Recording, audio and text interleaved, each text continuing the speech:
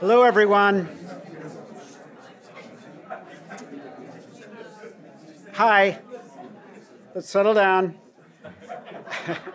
I'm, uh, I'm Jay Wallace from the Department of Philosophy, and it's my pleasure to welcome so many of you back uh, here today for the second of our Tanner lectures on human values.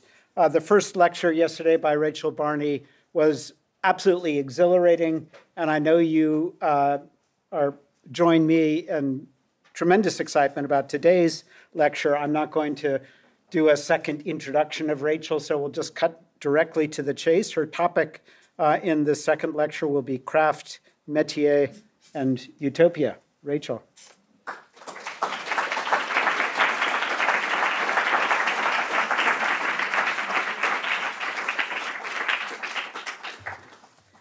Thank you, Jay. Thank you for being here.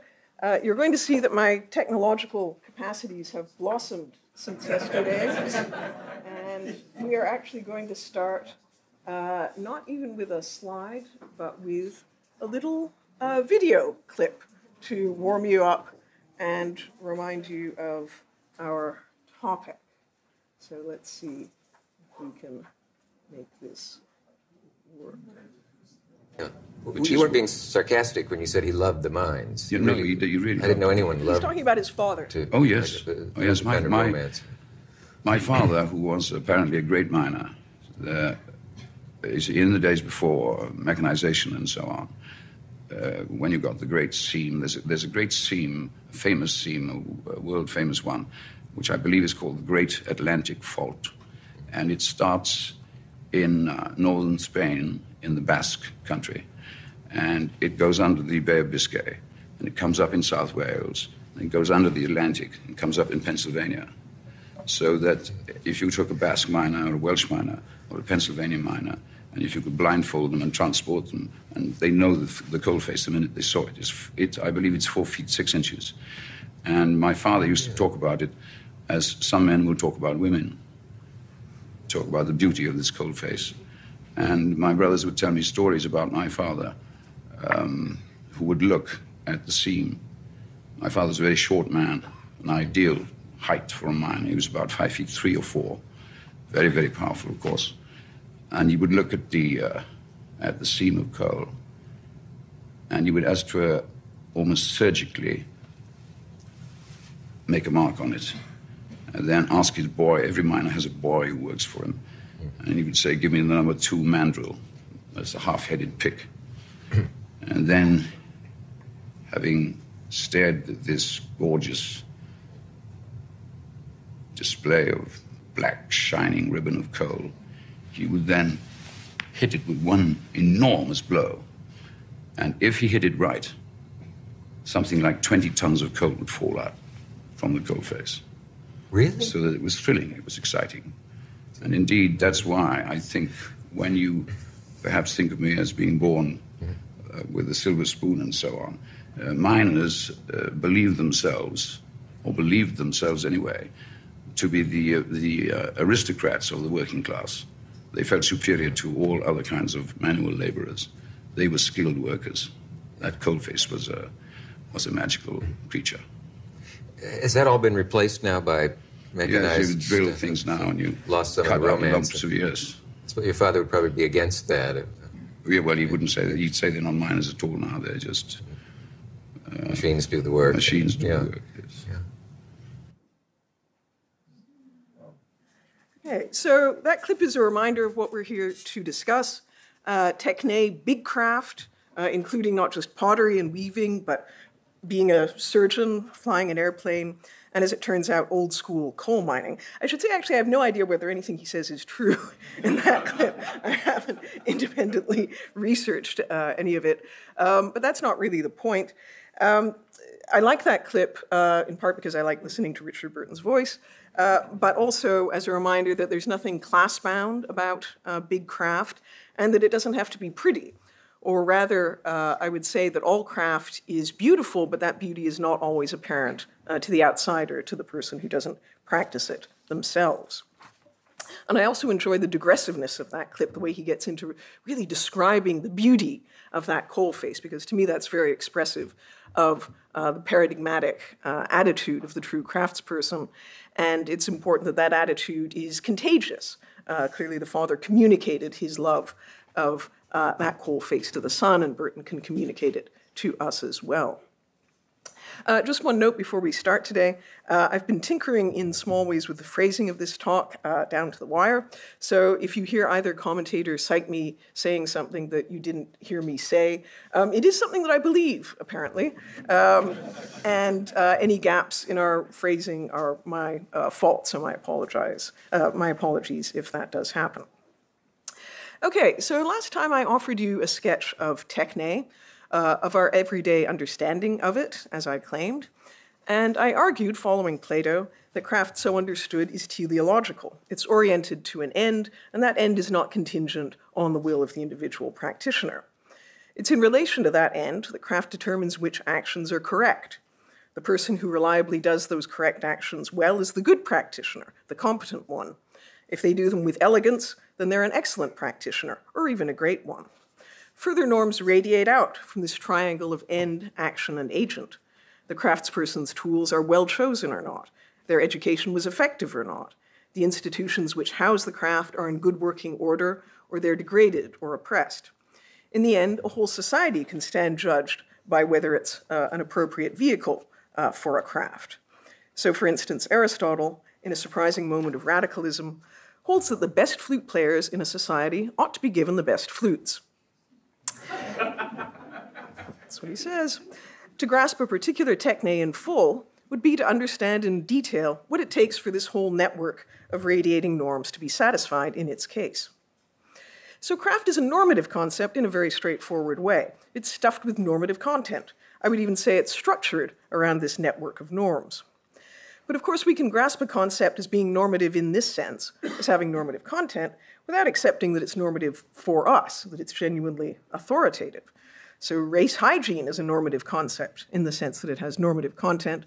Uh, so is the white man's burden. So are lots of concepts that we don't accept as being genuinely normative uh, upon us or upon any rational person. So there's a second, stronger thing that we might mean when we say that craft is normative, namely that we endorse its normative content, that we take it as genuinely authoritative, authoritative, binding uh, for us. And I take it that we do think that craft is normative in this second, stronger sense. Uh, we think that if you're a shoemaker, you ought to be a good shoemaker. So, my starting point for today is with the simple question of why that is. I'll be addressing this question again in terms of craft as work, a single concept, for it's in the case of the working practitioner that this normativity is most evident. And I'm going to use the somewhat nostalgic example of the shoemaker. So, according to the great uh, historian Eric Hobsbawm, the shoemaker was traditionally uh, the village intellectual and also the village radical. And I thought Hobsbawm was just sort of making this up. I came across this uh, offhand comment, and then I found he has a whole paper uh, co written with Joan Scott on political shoemakers. And it's about the famous radical intellectual shoemakers of the 19th century, which was actually a thing.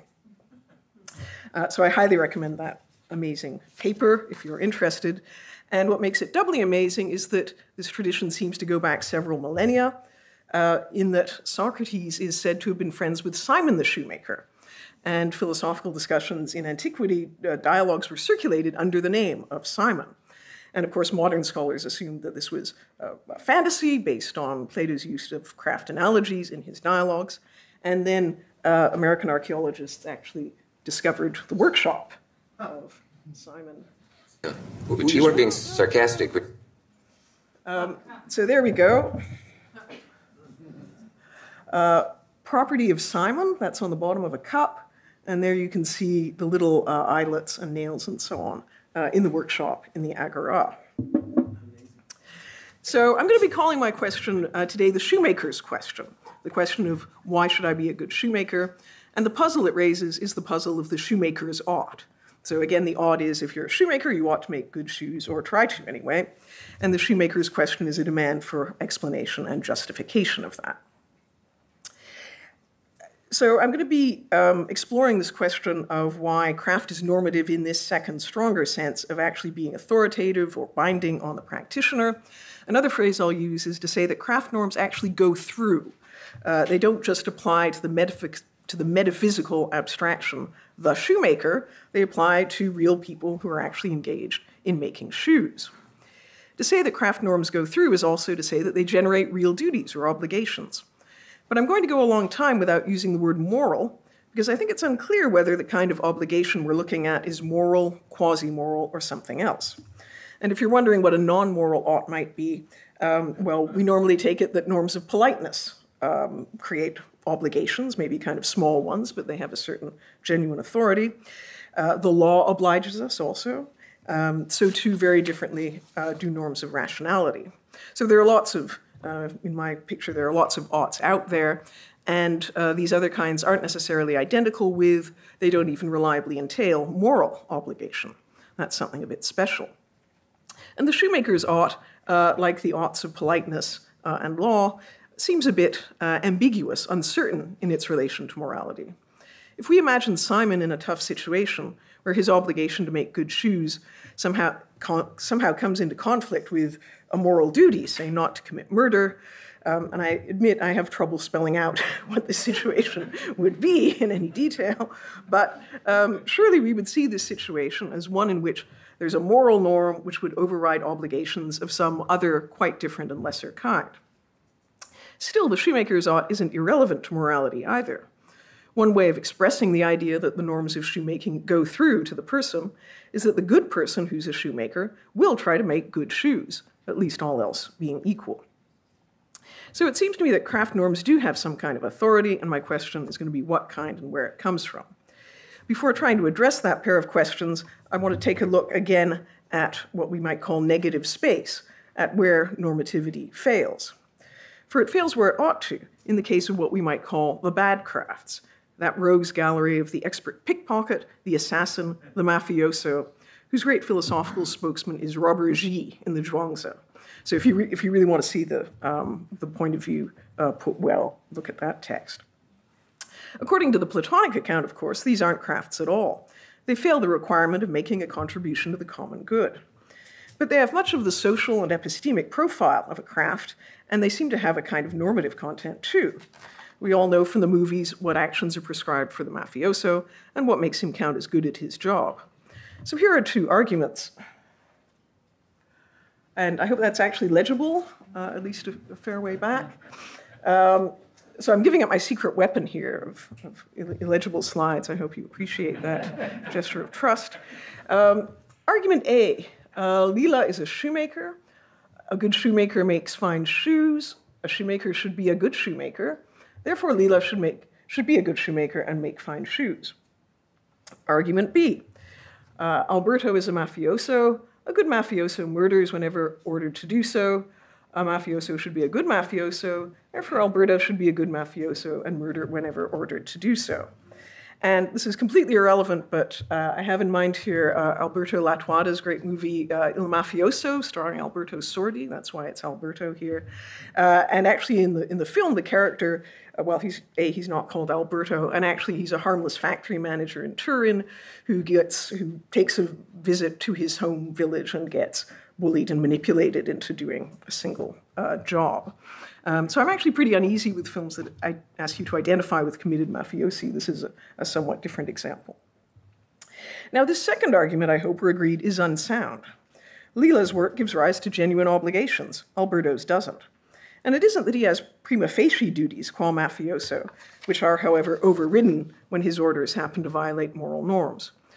Also, Alberto also isn't obliged to walk the Don's dog or deliver, on, deliver flowers to his mother on her birthday. He isn't obliged to do anything qua mafioso.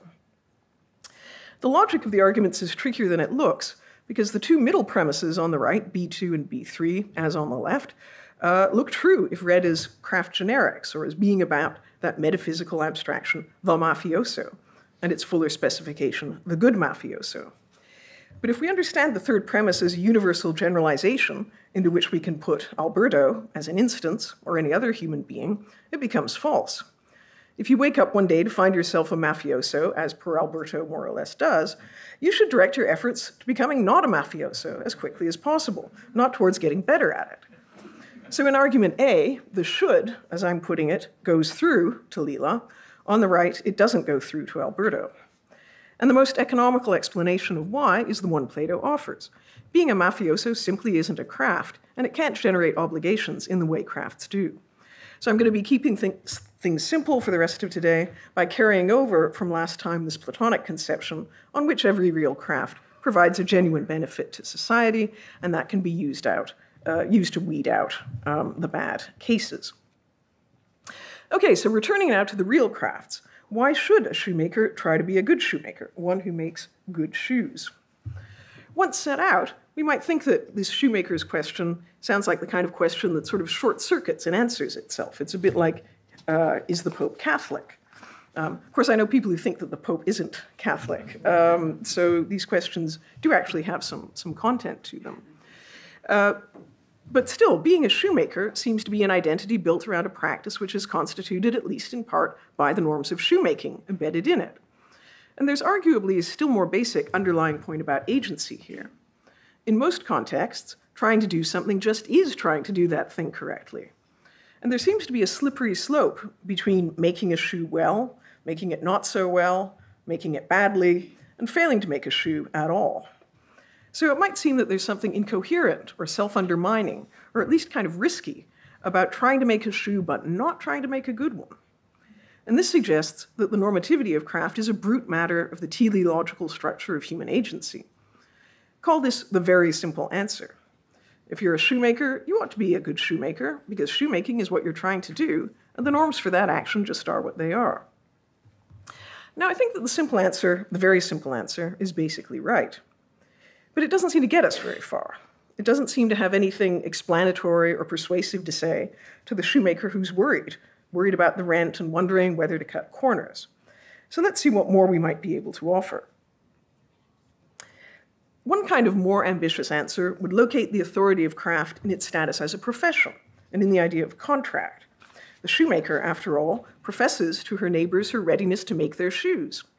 When customers come in, she contracts to do so and gets paid for her work. Carried far enough, not doing your job properly is fraud. This seems point missing, however. At any rate, the legal norms of contract apply equally firmly to oppressed and exploitive labor, bullshit jobs, other kinds of work which, in my view anyway, oblige us only very weakly, if at all. Shoemaking seems importantly different from those subnormative jobs. But the concept of profession isn't very apt for bringing the difference out. For one thing, I profess my craft to other people, but the shoemaker's good work seems somehow owed to the job itself, not or not only to the customer.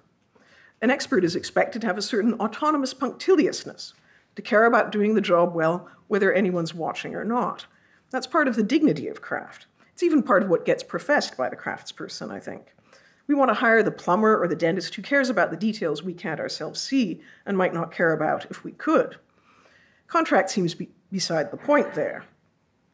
The same objection applies to the more abstract but related idea, a topic beloved of moral philosophers, promising. It's true that when I profess my craft, I make a kind of promise to my potential customers, and breaking promises is wrong. But it's still not wrong in the right kind of way. Contract and promise are superstructure. They depend on the prior ability of craft norms themselves to bind, and what those norms bind the craftsperson to is really the job itself. So, uh, second section, I'm going to move on to a different uh, kind of answer to the shoemaker's uh, question, and with a different starting point, which I think is more promising, which is the concept of a métier. A métier is a skilled job, but it doesn't depend on any particular contract. It's not clear to me that it has to be paid employment at all, though in French it standardly is. Still, the word always puts me in mind of the wonderful line of the poet Heinrich Heine, on his deathbed, after a somewhat rackety life, uh, Heine reassured his wife, Ne t'inquiète pas, chérie, Dieu me pardonnera. C'est son métier. Don't worry, darling, God will pardon me. That's his job. so, métier here is usually translated as job, but that's ambiguous and perhaps misleading. Heine isn't claiming to have God under contract, like an iffy plumber who'd better show up. Uh, that would be blasphemous in the extreme, which under the circumstances he was probably trying to avoid. Heine's point was rather that God can be trusted to do his self appointed work and do it well. This nuance of self selection, suggesting a taste for the work itself, is marked by the way that métier, like craft, travels with the person, getting relativized as mine or his. This ongoing possession by the agent is understood, I think, as a psychological reality. We think of it as a matter of identification and self conception. But it's also something public facing, a matter of creating and inhabiting a specialized identity. Someone makes a métier their own through an apprenticeship, induction into the guild, and publicly legible acts of profession. That's where the professing fits in, is very late in the game.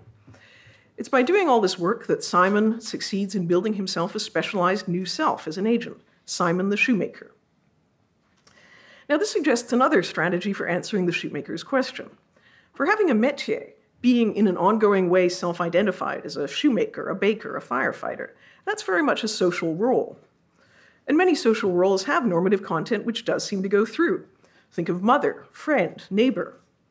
A number of philosophical theories have been built around the idea that you ought to perform your role, your social roles, simply because the norms of it are what they are, and the role is yours. This idea becomes more plausible if we mix in the language of function, in Greek ergon, and think of society as made up of such functions or offices or stations, each validated by its contribution to the whole. It's possible to get that view out of Plato's vision of the just city in the Republic, read in a somewhat reductive spirit, but for the full flavor, we should turn to the classical Chinese philosopher Han Fei. So here's a little parable for you. Marquis Zhao of Han once became drunk and fell asleep. The steward of caps, seeing that his ruler was cold, placed the Marquis's cloak over him. When Marquis Zhao awoke, he was pleased by this and asked his attendant, Who covered me with my cloak? His attendants replied, It was the steward of caps. Consequently, the ruler punished both the steward of caps and the steward of cloaks. He punished the steward of cloaks because he felt the man had failed to fulfill his appointed task. And he punished the steward of caps because he felt the man had overstepped the bounds of his position. It was not that the Marquis did not dislike the cold, but rather that he felt that the harm that comes from ministers encroaching on each other's office is even greater than the harm that comes from being cold. So you can build a whole political philosophy around that principle, actually, and um, I commend Han Fei to you if you want to see how that works. An equally radical conclusion is reached from a somewhat different angle by the 19th century British Hegelian F.H. Bradley, in his notorious essay, My Station and Its Duties.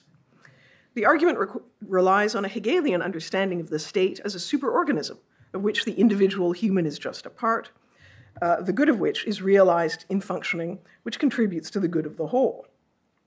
Bradley concludes his argument by saying, rhapsodically, We have found the end, that's to say, the end of, of human life, the telos.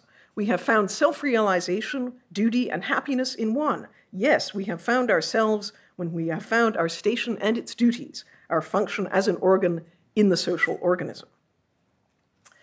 Now, I think that Bradley's talk of self realization actually gets at something important, which I'll come back to later. But the claim that self realization comes simply from the acceptance of my station and its duties is, to use a technical philosophical term for once, bananas. there are at least two obvious objections to it. One is that there are all sorts of social roles which no one should feel bound by. These include, again, the bad crafts, but also many more. Handmaid springs to mind, or house elf. Part of the purpose of imaginative fiction is, I think, to sharpen our skills at recognizing these kinds of uh, bad and oppressive social roles in our own societies. Bad social roles, ones which can only be at home in a corrupt or oppressive society, oblige nothing but resistance. And so, for the shoemaker's question, social role or function, taken just as such, looks hopeless as an answer. What it picks out is what the shoemaker, the handmaid, and the mafioso have in common. So it can't explain why the norms of the one role go through and the others don't. The second obvious problem with Bradley and with any account of obligation organized around social roles is related. Most aspects of my station in life are given my nationality, parentage, in many societies far more, including my line of work. So to treat roles or stations as giving norms that go through to the person is to give no weight at all to freedom of choice. But we do think that it has some weight. Now, I find it helpful to think of this freedom requirement in terms of Christine Korsgaard's conception of practical identities. To be clear, this is part of a very uh, complex and profound uh, moral theory, which is designed by Korsgaard to solve uh, very different problems. And I'm just going to uncover uh, a tiny corner of it for our purposes here and look forward to her uh, saying more about it in the comments. For Korsgaard, practical identities are the guises under which we exercise agency and constitute ourselves as agents. For me to act at all, I have to have a self conception under which I value my actions and ends. And that means having, quote, a description under which you value yourself, a description under which you find your life to be worth living and your actions to be worth undertaking. Practical identities are those descriptions, and they have authority because they give us reasons to act, including obligations. And Korsgaard is careful to distinguish these from uh, moral obligations, which are uh, special. Our local practical identities are contingent, and they define, as she puts it in an interesting phrase, contingent forms of duty and the noble. Métiers and occupational roles generally are paradigm cases of practical identities. And there are a pair of broadly Korsgaardian thoughts about them that I want to adopt here. One is her understanding of how a practical identity, for our purposes, a craft adopted as a métier, comes to be mine. Korsgaard fully acknowledges that some practical identities, including crafts, may be inherited or acquired by happenstance. She tends to speak of such identities as being contingent uh, rather than as being free. Still, she presents the holding of a practical identity as involving a kind of ongoing commitment. You have to endorse um, not only the values provided by the identity, but the identity itself as having value. And valuing and endorsing are paradigmatically free operations of practical reason. Moreover, she emphasizes that a contingent practical entity comes with what we might call a right of exit. Uh, you can drop them uh, if you cease to find them a source of value. So it seems fair to say uh, that having a practical identity, such as a métier, is dependent on my free adoption and reflective endorsement of it. So that's what I want to adopt as um, a, single single Korsgaardian thought and integrate uh, into my account of uh, craft. Its normative authority depends on our free adoption and reflective endorsement. And that's actually, I think, compatible um, sort of empirically with uh, the ways in which people do get into crafts, um, even though those are, can be very contingent. We could talk about that during the discussion. The second Korsgaardian point I want to use is the thought that we ought to drop the practical identities which conflict with our moral identity as human beings. And here she conveniently mentions the assassin, so we know we're on the right track. Um, as she puts it, moral identity exerts a kind of governing role over the other kinds. Practical conceptions of your identity which are fundamentally inconsistent with the value of humanity, it's a Kantian note being struck there, must be given up. In other words, a bad craft or a bad métier cannot oblige. Note that this leaves the normativity of the shoemaker's art in the kind of ambiguous zone uh, that we saw before. It's neither fully moral nor entirely unmoral. And Korsgaard's account um, can explain why. She has some helpful phrasing, such as uh, saying that our moral identity as human beings stands behind our practical identities. And she says that part of the normative authority of a practical identity comes from this relation to human identity. So that's perhaps frustratingly vague, but it sounds right to me that there is um, a kind of standing behind uh, relation uh, between the two kinds of uh, identity. So the basic idea here is that um, the idea of a métier as a practical identity seems to me to offer a good path for explaining the normative authority of craft, explaining why craft norms go through, um, it's a better uh, theoretical route than the idea of contract or profession or mere social role. There's a big problem in I- applying this idea, however. The problem is how to judge whether something, a métier or anything else, uh, is my practical identity.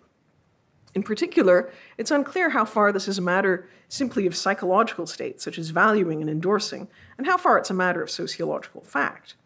In a good case, of course, the two will come together. They'll be bridged by a coherent pattern of behavior on my part. My actions will express my values, and my identities will be made manifest in social roles um, which fit. But it's all too easy for these factors to come apart. Suppose, for instance, that our Alberto, instead of being trapped into the life of a mafioso, has the good fortune to be heir to a firm of biscotti manufacturers. but also suppose that he studied philosophy at university and would quite like to continue with that after the Laurea. Succumbing to family pressure, however, he returns home for the summer, and so same fatal mistake, and without ever making what feels like a decision, he starts to take over responsibilities on the Trattoria floor. On what conditions and at what point does biscotti maker become one of his practical identities? How can Alberto himself answer that question as he reflects in the cool of the evening five years later, alone with his grappa and his self pity? Is it really simply a question of how much he now cares about biscotti? I mean, even that might not be easy for him to establish simply by introspection. There's all kinds of confounding variables. But you can imagine his siblings getting kind of irritated um, by that introspective process and saying, look, the, the case is actually very simple. You are, in fact, a biscotti manufacturer now, so step up and be a good one. Um, they're unlikely to be sympathetic if he protests that, well, no, actually, I've read Korsgaard, and I, I don't think this is my practical identity, and uh, so I don't have any obligations. Now, one might respond that if being a biscotti maker isn't an identity for Alberto five years later, if he doesn't endorse that practical identity, then something else has gone wrong. He's behaving with a lack of authenticity, we might say, or integrity. And that response seems to me actually to be right. But it doesn't seem to me to capture the shoemaker's ought. What's bad about making shoes badly is the bad shoes, not the inauthentic state of the shoemaker's soul. The more plausible alternative view is to take practical identities as somewhat external and socially manifest, to hold that Alberto is indeed bound by the norms of biscotti making from the moment that he sits down in his father's big chair. This may seem like a regress to the social roles view of craft normativity, which I rejected earlier. But in fact, I'm proposing a more radical regress still, all the way back to what I called the very simple answer. Anyone engaged in the practice of biscotti making or shoemaking ought to try to make good shoes, not because it's their profession or their social role or their métier or their practical identity, but simply because it's the thing they're doing. And that thing is a craft, and craft norms apply. I'm suggesting that the craft that the shoemaker's ought has, at the most basic level, no more of an explanation than that. Now, section three, I'm going to move on to what I'm calling uh, the best case scenario. And, uh, well, you'll see what I mean by that phrase as we go. Now, to say what I just did, that really the very simple answer is the only answer there is, uh, isn't to say that the other answers we've been looking at have nothing to offer. They just need to be relocated a bit. Where they're helpful is not in relation to the shoemaker's question as I initially posed it, but in relation to what we might think of as the follow up question, which we can now more clearly distinguish. So the follow up question is well, why should I be a shoemaker? Granted that the shoemaker ought to make good shoes, why is that a role that I or any rational person would identify with and attempt to instantiate? So I spoke last time of the uh, idea that craft practitioners have different kinds of external motivations for doing what they do. And I said there was the originating motivation that gets you into a craft, the sustaining motivation that keeps you in it, and uh, the prompt, which causes you to practice it on a particular uh, occasion. And I'm now zeroing in on sustaining motivations. Those are what we're going to be talking about uh, when we address this follow up question. Why should I actually go to the workshop today and uh, pursue this identity of um, being a shoemaker? And the question is whether we can say anything at this very high level of abstraction about what the right kind of sustaining motive would be. What's a good answer uh, to that question uh, that the shoemaker asks herself when she reflects? And this is an inquiry into how craft as work might be normative in yet another, a third sense, the sense in which something is normative if it um, meets the standard for the kind of thing that it is, um, so that it's uh, desirable, uh, a normative uh, kind of thing for us, in this case, a normative kind of work, of making a living. Now, as I flagged earlier, a useful starting point here is Bradley's claim that social roles op- operate through offering self realization to their occupants. I've said that he can't be right about what self realization consists in, and I have to admit the whole concept of self realization gives me qualms. It's um, reminiscent of sappy self help books. Um, makes me feel that we're, we're straying into the wrong section of the bookstore here. Um, but uh, I think it is a valuable concept. I think it's kind of the term that we're stuck with for uh, a certain kind of uh, ideal, even if it isn't the right, quite the right kind of word for that thing. Um, so I say it's not necessarily the right kind of word because we all have parts of ourselves that we think should be squelched, that we don't want realized. And what's more, some of the more compelling versions of the idea, the one we might attribute to Nietzsche, for instance, are more about self overcoming, self transcendence. Um, Korsgaard prefers the term self constitution. So there are lots of options, um, but as I say, I think uh, self realization has become sort of uh, the default for an ideal which is indeed a promising candidate for happiness, or at least for the kind of happiness which it makes sense for us to aim at in action. So I'm leaving room here for the Aristotelian thought that to be happy, you might also need to be lucky and have external goods. Um, but I'm going to, from now on, talk about the kind of happiness that we can actually aim at attaining through our own activities. Self realization, I take it, names a way of living in which I successfully use my talents, interests, propensities, opportunities, perhaps even my flaws and disadvantages, to do good work and lead a worthwhile life, to make something of myself, as they say. It's inherently a normative concept, tethered on the one side to an ideal of flourishing our happiness, which it promises, and on the other to an ideal of right action, which it demands. To speak of self realization is thus to hypothesize something that uh, virtually all the ancient philosophers uh, were committed to, namely a convergence of virtue and happiness, in the most abstract senses of acting well and faring well. Now, the moment the idea is on the table, I think it's pretty obvious that self realization is something that can be offered by a métier, and by craft as a métier in particular. After all, as Aristotle says in the opening of his Metaphysics, all human beings desire by nature to know. I have a friend who insists that he actually means that we all desire to know things by nature without having to work at it. but I'm confident that's not actually the correct way to parse that Greek sentence. What he means is it's a feature of human nature that we want to know things by finding them out. Uh, we also like to use our knowledge productively in action. We take pleasure in getting things right, doing things well, hitting the coal face at exactly the right angle especially where it's something that other people can't do. There's a further rich satisfaction in having that distinctive knowledge and rightness acknowledged by others, not to mention getting paid for it. What more could anyone want? Of course, that's a thin and inadequate sketch of what self realization might be. It may not be fair to take feelings of satisfaction or fulfillment as proxies for real self realization. Um, and, but a sense of fulfillment, I think, does seem like the best introspectable sign uh, of self realization that we're likely to get. We can perhaps get a more vivid picture by watching a documentary about a craftsperson at work, which is a tellingly huge genre. There's also the psychological literature on the idea of flow, with its phenomenology of expert performance, depicting the expert at the height of their powers, using all of their knowledge and skills to solve problems, overcome difficulties, acting effortlessly as if time itself slowed down for them. This is, for almost anybody, an extraordinarily attractive ideal. Not all expert performance looks like that, of course, and I wouldn't want to say that self realization necessarily manifests in the condition of flow or make the value of one contingent on the other. For someone born into an oppressive society, a life of self realization might involve terrible pain. And the creative struggles of the great artist might feel hard and be hard and stay that way, seen from the inside as well as from without. But the image of the self realizing craftsperson in a state of flow is still the best image we have of how the ideal of the ancient philosophers might be realized, how a kind of virtue or excellence and a kind of happiness could be made to coincide by the active exercise of the one bringing about the other.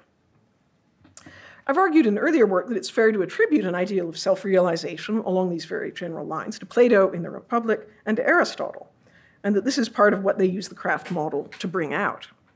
The Greek way to put it is in terms of a person's ergon, their function, job, or work. And the, the Greek term ergon is actually related to the English word work. They go back to the single, same Indo European root, which I think says something about how important this concept is to us. According to the final argument of Republic Book One, which we didn't have time to talk about yesterday and won't talk about today, um, a thing has a function if there's something you can do best with it or do only by using it. And for both Plato and Aristotle, in somewhat different ways, there is such a function belonging to the human soul.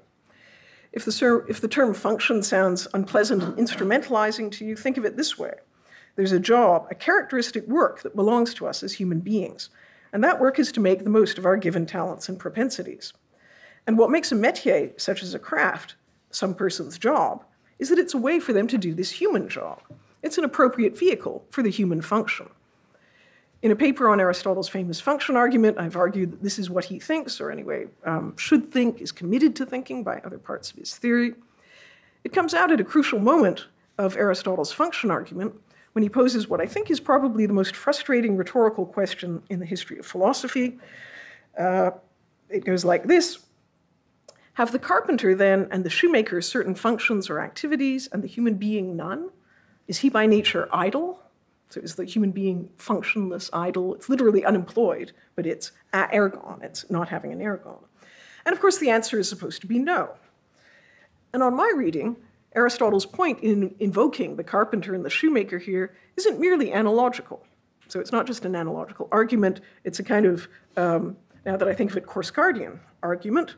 Uh, Aristotle is noting that we take it as obvious that the craft functions of the carpenter and shoemaker really are binding on them. The craft norms go through for those people.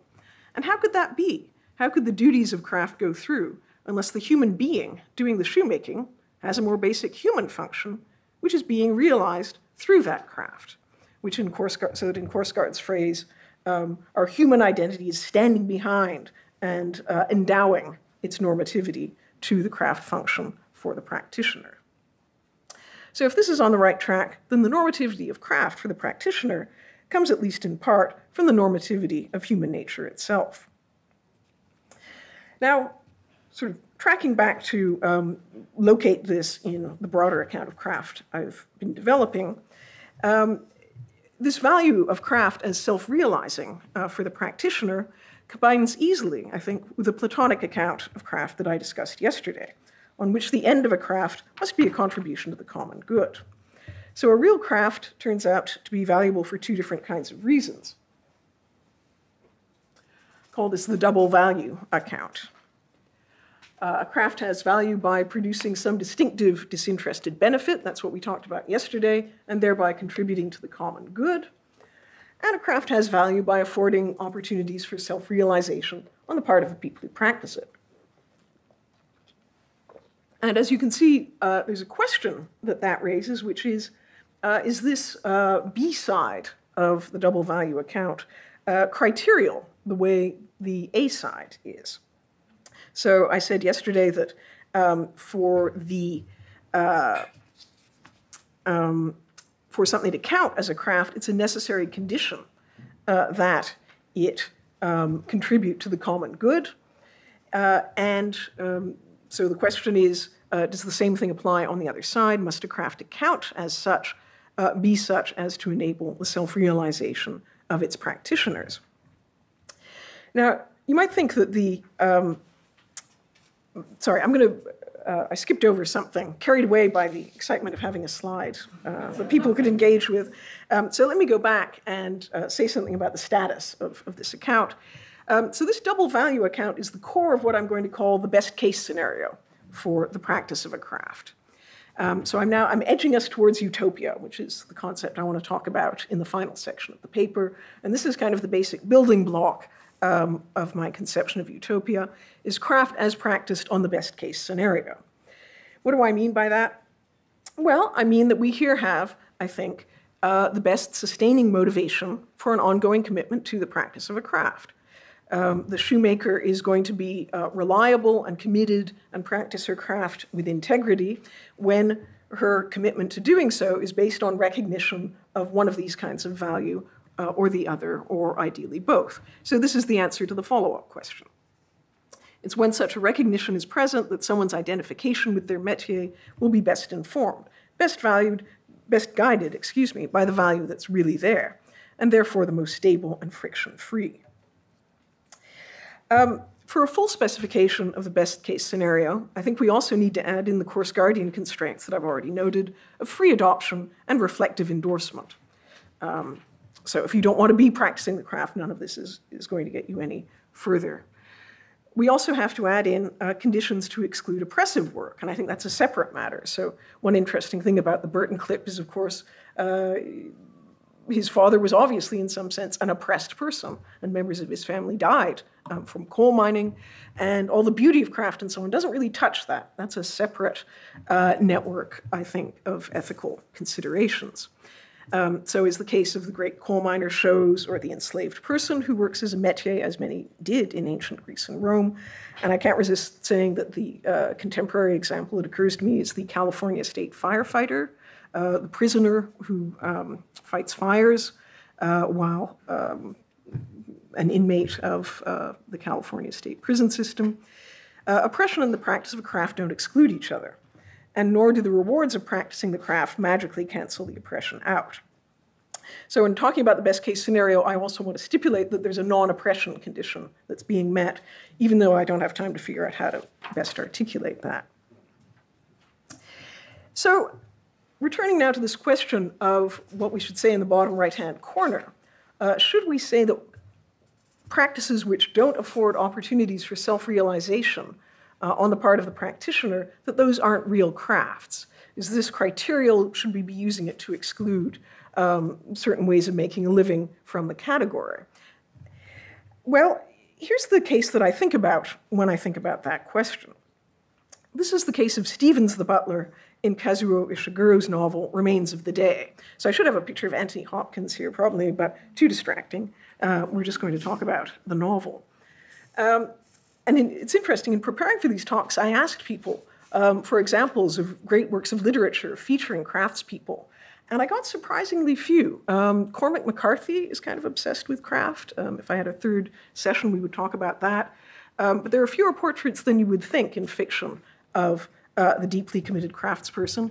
And I sort of realized to my horror eventually that actually Stevens the butler was uh, the figure that I was looking for. Realized it with horror because if you know the novel, um, it's, a, it's a tragic portrait and uh, a very strange case of a craft if it is one. So that's what I now want to discuss. I think it's the interesting test case um, for the issue here. So Stevens is actually an exemplar of craft as I've been discussing it in these talks. The central theme of his whole discourse to the reader, which takes about just about the whole of the novel, is his absolute dedication to his métier as butler. Although he calls it his profession or his vocation, I don't think anything hangs on the nuance there. We're shown in careful detail that he's a master of his craft and a committed member of the guild. Nor is he morally obtuse. He's not a figure that you can condescend to. Um, he has a broader ethical perspective and makes a point of telling us, um, somewhat implausibly, that it was a mark of his generation to consider the moral status of the masters they served, and that he himself chose his master carefully, with the aim of making his own small contribution to the common good. With all this detail, Ishiguro builds up a convincing portrait of Stevens' ethical world, a slightly hallucinatory alternative reality in which it's simply obvious, known to everyone, that being a butler is a highly noble and estimable art. And I have to point out, uh, Stevens earns our respect, as, as does Ishiguro, for he manages the whole book on this theme without ever using the word butling or having to use the verb. It's all about the craft of the butler, but all the verbs are very undignified that go with that, right? And never wants to see fall into them. And um, that's not accidental because Stevens is obsessed with the question of what makes for greatness in a butler, and his answer to that question is dignity. Uh, this is the defining feature, perhaps surprisingly, of the great butler, is uh, his dignity in all situations. He identifies this dignity with the great butler's ability to fully inhabit the role, as he puts it, with no distraction or interference by personal considerations or his private life. Now, that should ring a kind of bell from last time, because it's a version of what I was calling motivational insulation. And I said it was in, essential to integrity in the practice of a craft. Um, so I should be on Team Stevens here he carries that inhabiting the role in his own case to a point of perfection in which all personal considerations are suppressed, and his narrative culminates in a moment of terrible triumph when he feels himself to have met this highest of demands. He doesn't quite say it, but it's clear that he is a great butler by that standard. But his telling of the story also brings to the surface his own latent awareness that something has gone terribly wrong here, and that his way of life has been completely misguided. So the reason I'm going into all this detail about this story is in part because it is a kind of challenge to the account I've been giving. On the story of craft normativity, as I've been telling it, Stevens is an exemplary figure. And yet he's also a comic and deeply tragic figure, too. And the question is what is his tragic uh, mistake? It seems to have something to do, I think, with servility, with his having found self realization, or what he thought was self realization, in a kind of self instrumentalization and self suppression. In fact, he has, with great determination and intelligence, turned himself into an Aristotelian slave, an organon, purely a tool.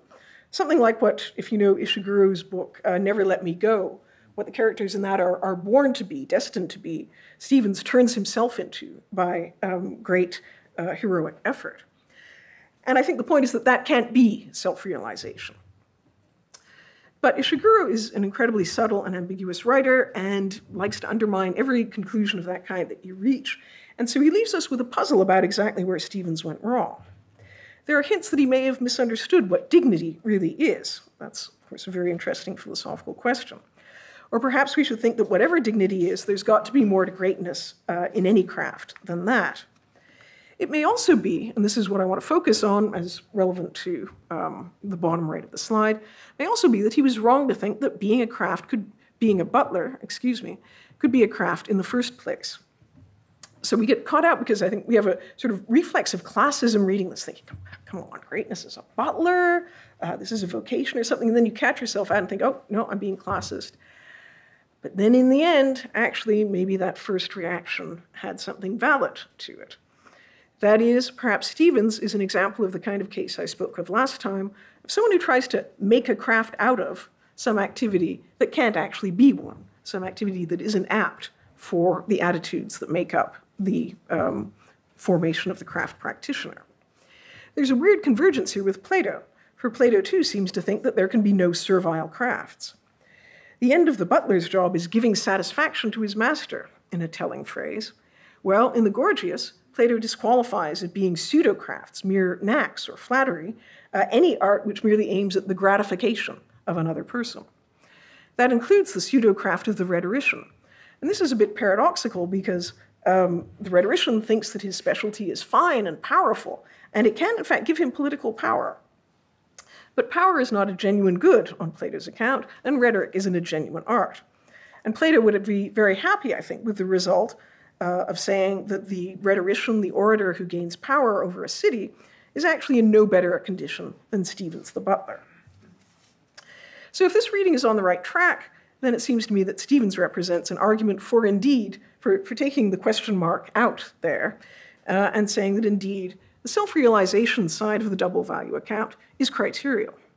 If some practice can't afford even the most dedicated and intelligent practitioner a path for genuine self realization, then it isn't a real craft. And I take that to be a welcome addition to the Platonic account. I now want to return to the best case scenario and talk about its relevance to work. And I feel very daring doing this because uh, work seems to be something that philosophers mostly don't talk about. We shy away from it. And uh, it is actually very hard um, to find a way into talking about it uh, in a philosophical way. So I'm going to make a kind of primitive stab at that here. You're going to see just how primitive um, in my next slide, uh, next two slides, excuse me. So, section four, the utopia of work. Craft as practiced on the best case scenario seems to me the best conceptual proxy we have for the normative form of work. That's normative in, again, the third sense of meeting a standard. So, I mean, the standard of what it's rational for us to want in the way of work. I don't think we're ever going to have a consensus on what uh, it means for work to be meaningful, satisfying, worthwhile, unalienated, whatever standard you prefer. And of course, there isn't even any consensus on exactly how to frame uh, the relevant standard. But wherever exactly we want to put the aspirational bar, craft as métier on the best case scenario, so factoring in those Korsgaardian uh, constraints, is going to be well above it. This is the kind of work which it's rational to want for yourself, your children, and your neighbors.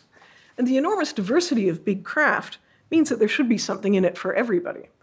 There's nothing constraining about it. Um, no reason to think it's going to be too constraining if we center it when we're thinking about the kind of work that we want to promote individually as a, and as a society.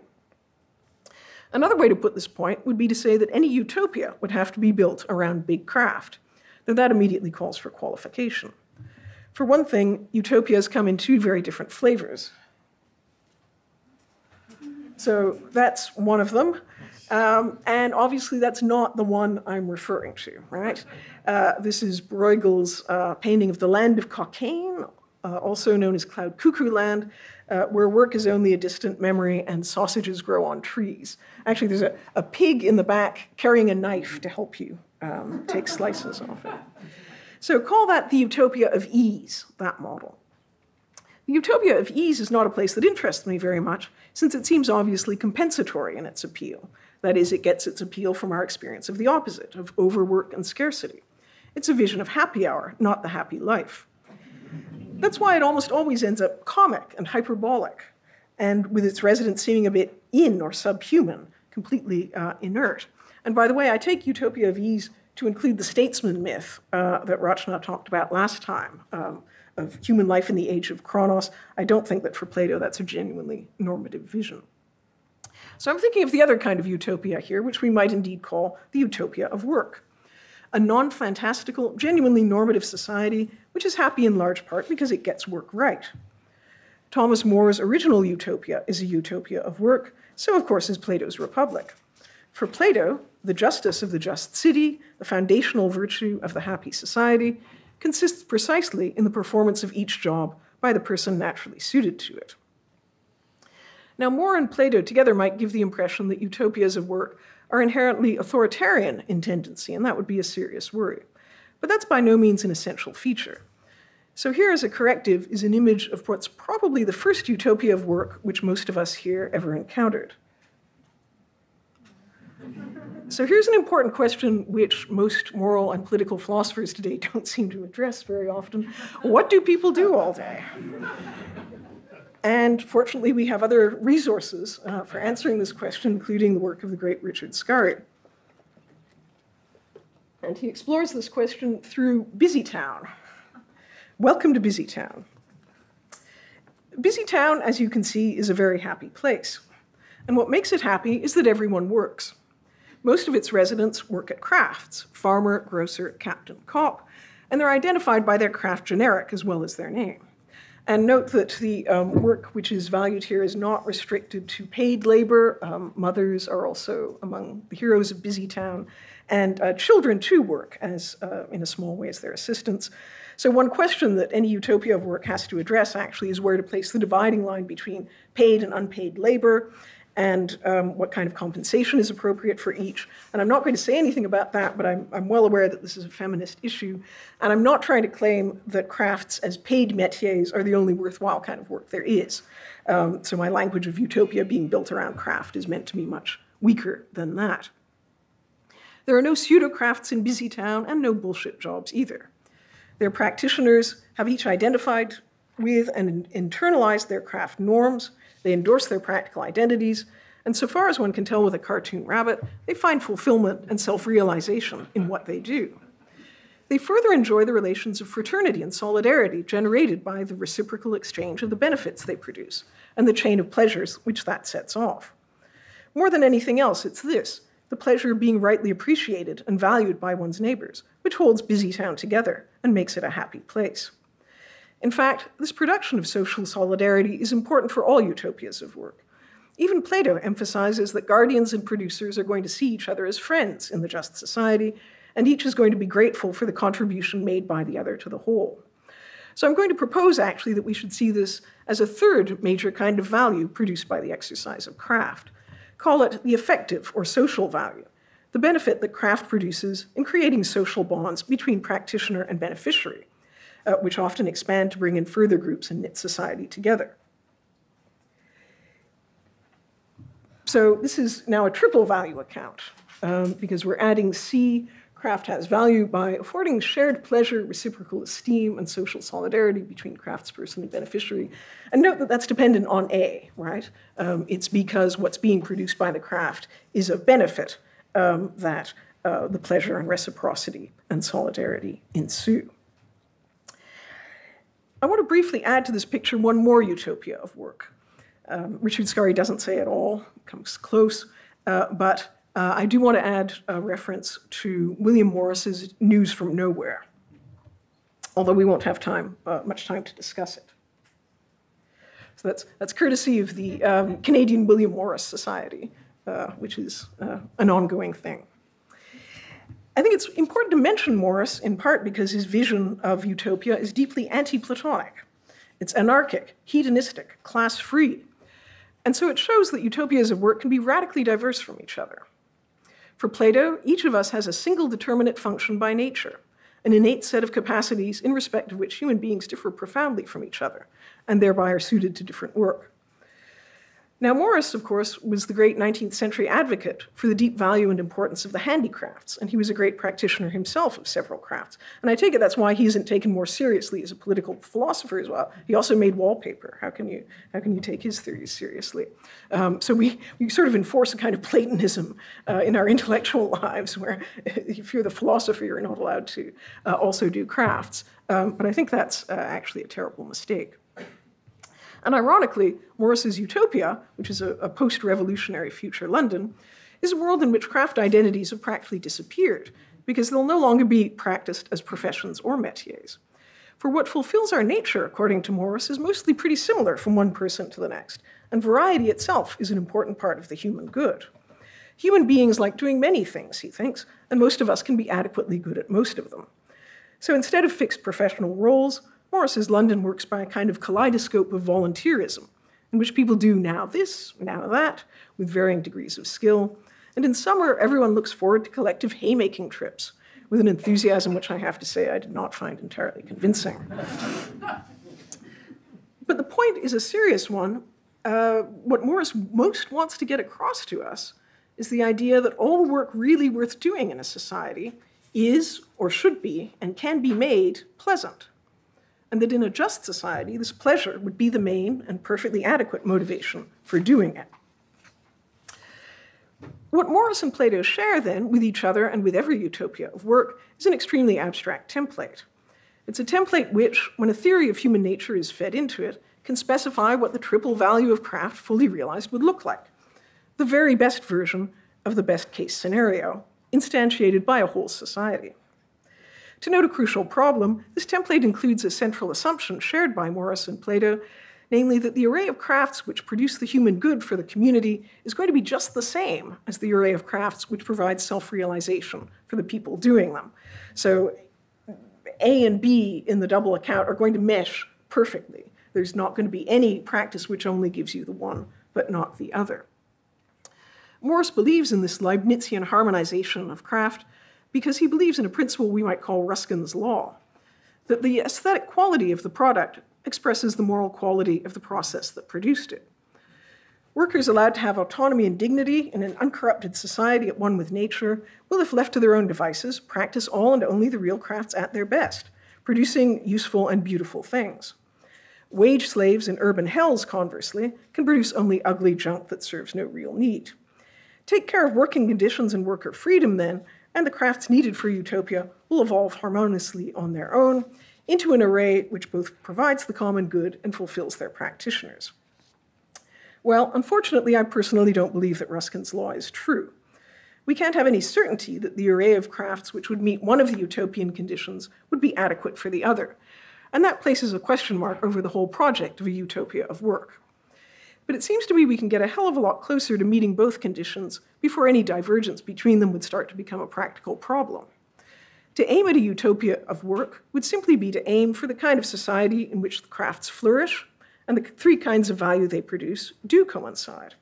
And in fact, this coinciding happens every day already, locally and on a piecemeal basis.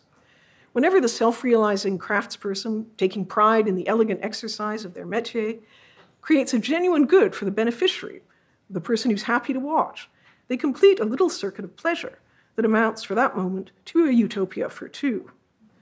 Morris himself felt sure that for anything more, a revolution would be required. But that's a story for another day. If all this is on the right track, then craft is still useful to philosophy in some of the ways it was in the ancient world, as a paradigm, a target, a way of bringing into focus some of our most demanding ethical and practical ideals. We can figure out what our own utopia of work would look like by thinking about the array of crafts that it would feature and how our own aspirations to self realization would fit into them. We can try to nudge our societies in the right direction by working to detect and delegitimize pseudo crafts and by strengthening the institutions which support the real ones. And we can think about how to widen the spaces in which the little utopias happen until they might extend to the whole shape and size of a society. Craft is, as ever, under threat. But many people do still find in the exercise of a craft a kind of solace and refuge, a local restoration of their sense of agency. And I hope that trying to think through some of the philosophical puzzles and opportunities craft presents can have some of the same effect. In any case, c'est mon métier. Thank you.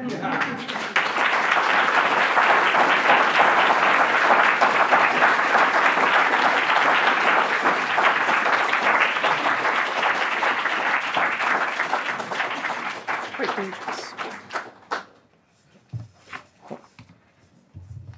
Thank you very much, uh, Rachel, for uh, another wonderful lecture. I think let's let's take a five-minute break uh, before reconvening for questions. So we'll uh, be back here at um, 5:22. Okay, welcome back. Let's settle down. I'm I'm just delighted to see how many people are here and here after the break. Even uh, it's um, it's just really heartening. Um, it's a great pleasure for me to introduce our first commentator today, who's uh, Christine Korsgaard, uh, the Arthur Kingsley Porter Research Professor of, of Philosophy at Harvard University. Uh, there she is. Chris is an absolutely towering figure within contemporary philosophy, the author of exceptionally influential contributions on Kant, the foundations of ethics, and the study of normativity. Indeed, she's arguably responsible virtual, virtually single handedly for making the topic of normativity the salient focus of philosophical study that it has now become. It was her book, The Sources of Normativity, published in 1996, that many of us regard as the modern Ur text for reflections about this concept. And its appearance led to an explosion of books, articles, and conference, conferences devoted to the specific theme. Chris develops the view that the requirements that are binding on an agent reflect commitments that are constitutive of the agent's point of view, an uh, idea with obvious Kantian inspiration, but also one that is anticipated in some of the great works of the ancient tradition and that Rachel makes effective use of in today's lecture on the normativity of craft. Chris has pursued this theme in several of her subsequent publications, including the essays collected in The Constitution of Agency and the book Self Constitution from 2009. Another extremely important stream in Chris's research is her engagement with the theme of the moral standing of animals. She's been concerned throughout her career to show that the broadly Kantian approach to ethics that she favors can do justice to the moral significance of animals, who matter in their own right, not merely because our treatment of them potentially affects our own character and capacities. Her penetrating reflections on this theme are impressively developed in her latest book, Fellow Creatures Our Obligations to the Other Animals, which is the most interesting and original treatment of the moral standing of animals that I've read. Chris's many honors and distinctions are too numerous to catalog here, but I would uh, note that she's one of the few figures to have delivered Tanner lectures on two different continents, uh, the first of which in Cambridge in 1992 were the basis of uh, the sources of normativity. Her Locke lectures in Oxford were the basis of self constitution, and her um, lectures, also delivered in Oxford, eventually gave rise to Fellow Creatures. She's also held a Mellon Distinguished Achievement Award in the humanities. Chris is well known to us at Berkeley. Her books figure regularly in our courses. There are many students in attendance today who've recently read both Sources and Fellow Creatures in classes taught by me and she has visited us on many occasions, most recently as Howison Lecturer in Philosophy in 2016. We were very sorry to learn that an illness has prevented Chris from coming to Berkeley this week, as she very much had hoped to do herself, but we're delighted that she's able to join us for these events via Zoom. Please join me in welcoming Chris Korsgaard.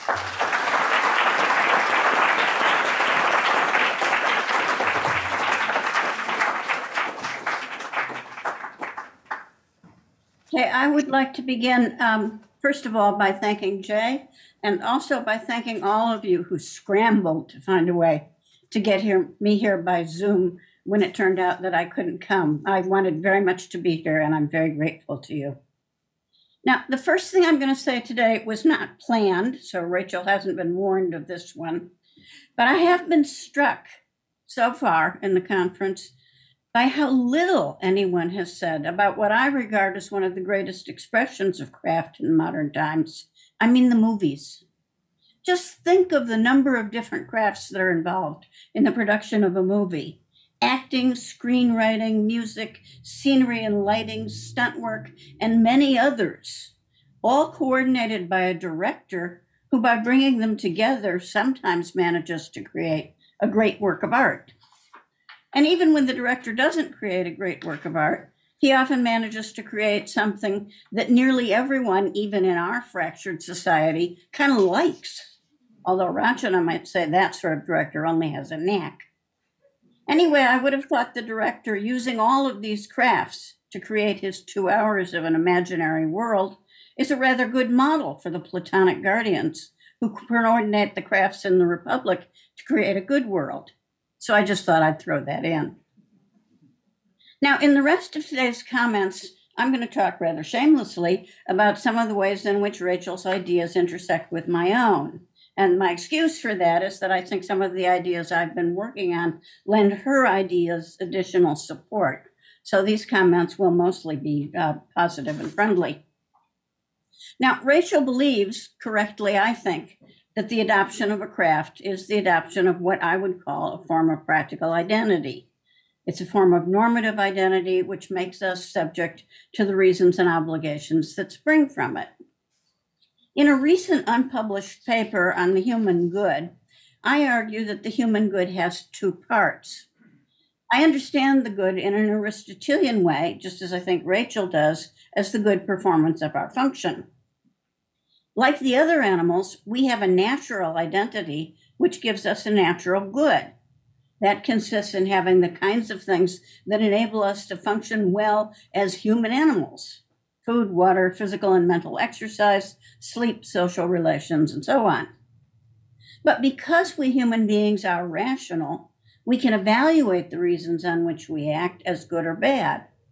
And because we identify ourselves as the sources of our actions, we value ourselves positively when we think that we do good things for good reasons. This means that we have a practical identity which, as Rachel told you, I described in uh, sources as a description under which you value yourself and find your life worth living and your actions worth undertaking. The need to construct and function well in your practical identity is the need to make something worthwhile of yourself. So, valuing ourselves is an essential part of the human good. And that fact that we have a need to make something of ourselves is also how Rachel describes the things that makes it worthwhile for us to adopt a craft identity. So the human good is a, is a, to function well in both parts of our identity. But those two things, your natural good and the good of functioning well in your practical identity, stand in an uneasy relation because your practical identity can make demands upon you which are in tension with your natural good. Under certain circumstances, your practical identity can subject you to demands for very hard labor, physical danger, social isolation, and so on. One of the difficult things about being human is that we have to decide how to negotiate these conflicts within our, within our good when they occur. A good society will reduce the occasion for conflicts between our natural and practical identities. In the case of craft identities, or at least professional ones, this will include creating working conditions that make it possible to satisfy our natural needs while doing our work. And I take this to be an essential part of uh, Rachel's idea of a utopia of work. Now, that is ultimately uh, Rachel's answer to the question why you should adopt the identity of a craftsperson. But Rachel takes it to be a somewhat different question why a craft is normative for a craftsperson. She offers us what she calls a very simple answer. She says, and I'm quoting here anyone engaged in the practice of shoemaking ought to try to make good shoes, not because it's their profession or métier or social role or their practical identity, but simply because it's the thing that they're doing. That thing is a craft, and craft norms apply. Now, Rachel says this is because, and I'm quoting again, there's arguably a still more basic point underlying agency, underlying point about agency here. In most contexts, trying to X uh, trying to phi is just trying to phi correctly, and there seems to be a slippery slope between making a shoe well, making it not so well, making it badly, and not having succeeded in making a shoe at all.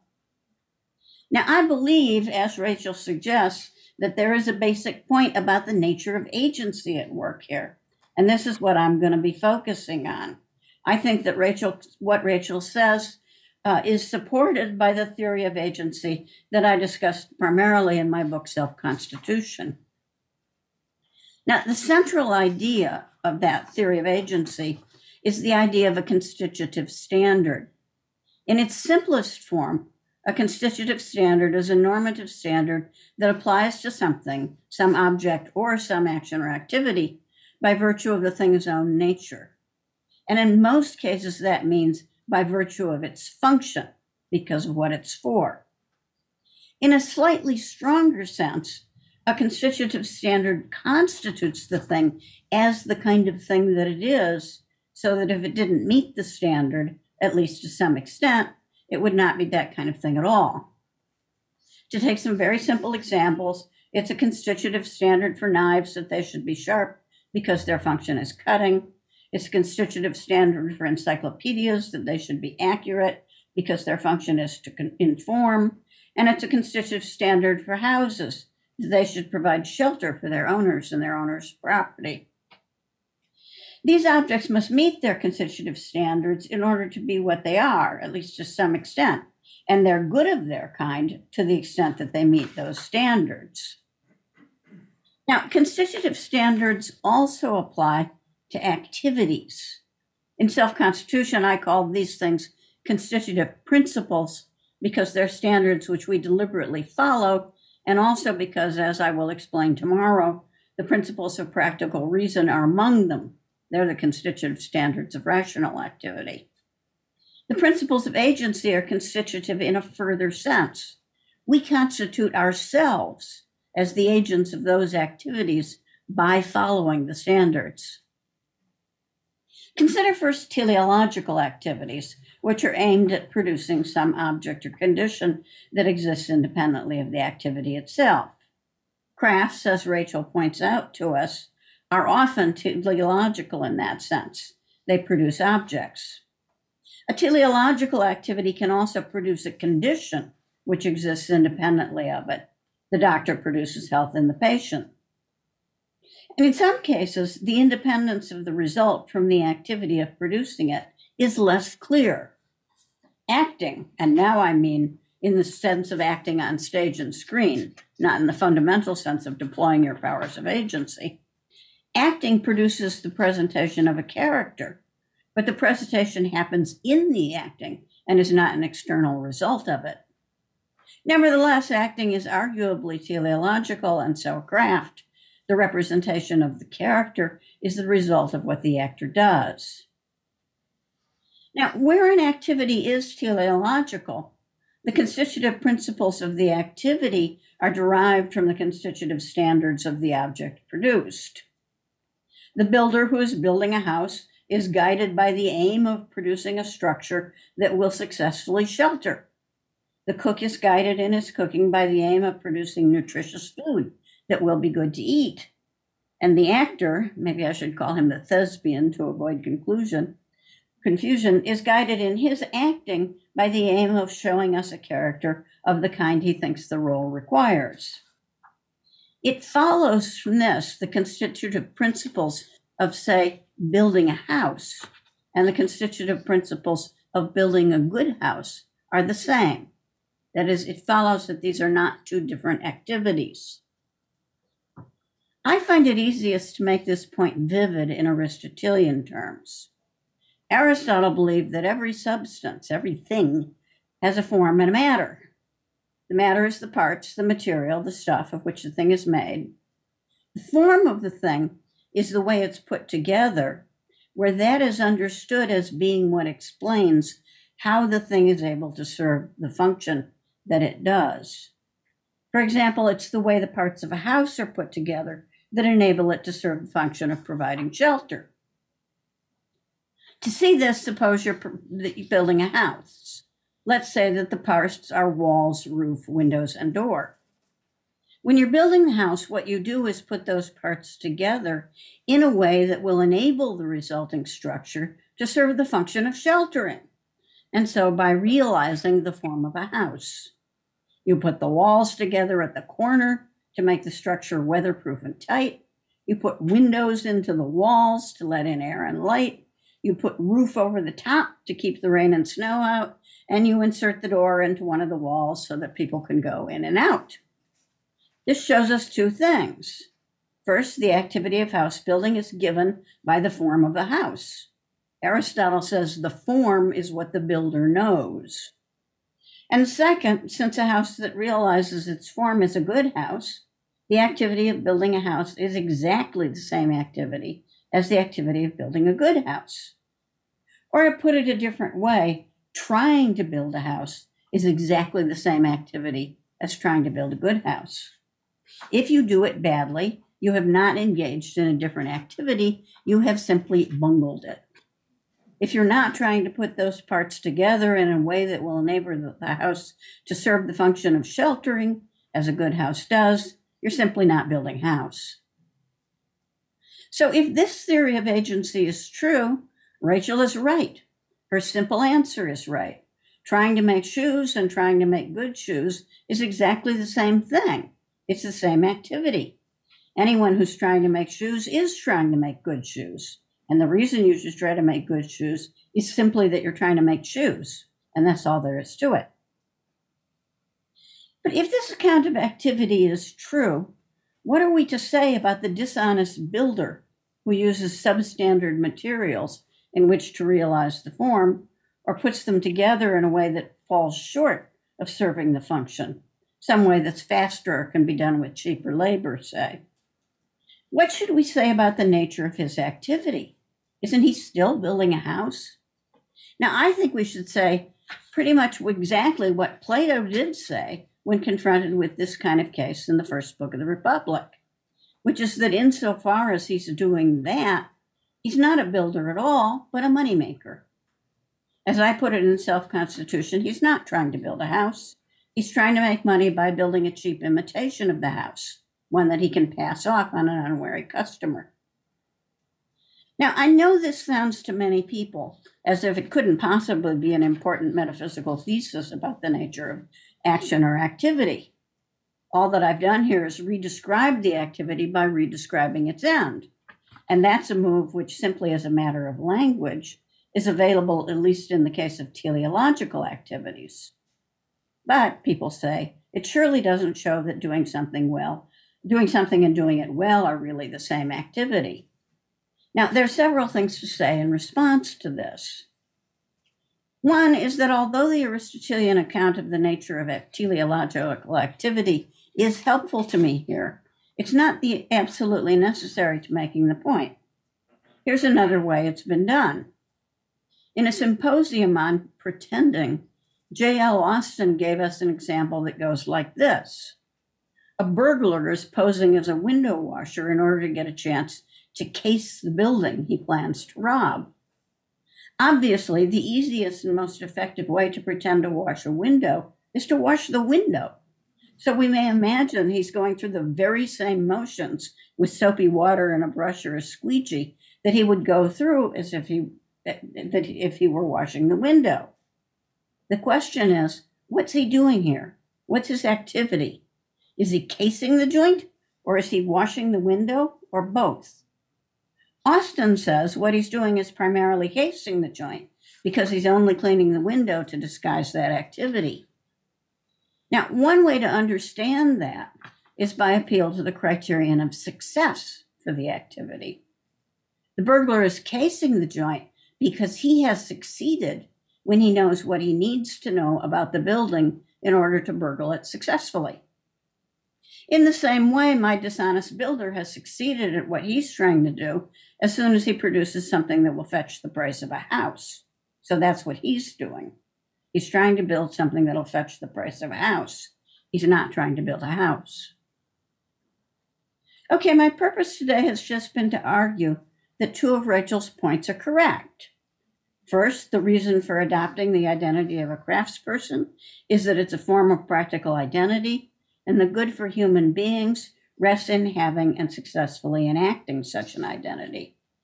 If the good for a human being also rests in functioning well as a human animal, then Rachel is also right that the government needs to create a utopia of work in which these two aspects of the good are made to go together. Second, I've tried to support Rachel's claim that the reason why a craftsperson should act in accordance with the norms of her craft is simply that she's practicing the craft by appeal to a theory of agency and activity. According to this theory, doing something and doing it well, or at least trying to do it and trying to do it well, are the same activity.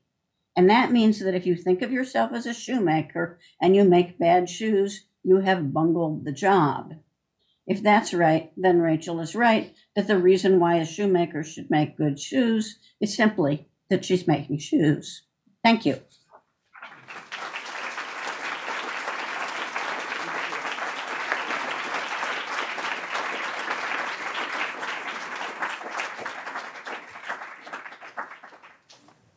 Thank you very much, uh, Chris. Um, I'm delighted now to be able to introduce our second commentator today, uh, Alexander Nehamas. Um, Alexander is the uh, Edmund N. Carpenter the second class of 1943 professor in the humanities at uh, Princeton University, where he has taught since 1990. He's the kind of philosopher whose breadth of interests make him impossible to categorize in the narrow parameters that have come to dominate our increasingly and lamentably professionalized field. He's made important contributions to the study of ancient philosophy, but also to aesthetics uh, and to the study of Nietzsche, for instance. But merely to list these different areas of achievement is to miss the brilliant way in which Alexander's reflections on each of these topics um, are deeply informed by his engagement with the others, and indeed with further topics as well. Philosophy for Alexander is not so much a scholarly discipline as a way of living and engaging with the world. And Alexander has taught us vividly that materials for significant philosophical reflection can be found virtually anywhere, on television, for instance, as much as in the stacks of the library. Like Chris, Alexander has himself delivered the Tanner Lectures on Human Values, in his case at Yale University. And also, like Chris, he's been the recipient of the Mellon Distinguished Achievement Award in the humanities, one of a very small handful of recipients of this war, uh, award in the field. He also, like uh, Chris, has deep connections to our own university. He was Sather Professor in what was then called the Department of Classics in 1992 to 93, and his lectures in that role eventually appeared as The Art of Living Socratic Reflections from Plato to Foucault. A later visit to Berkeley as the Townsend visitor in the Department of Philosophy resulted in a further rich volume, Only a Promise of Happiness The Place of Beauty in a World of Art. His path breaking Nietzsche Life as Literature appeared in uh, 1985.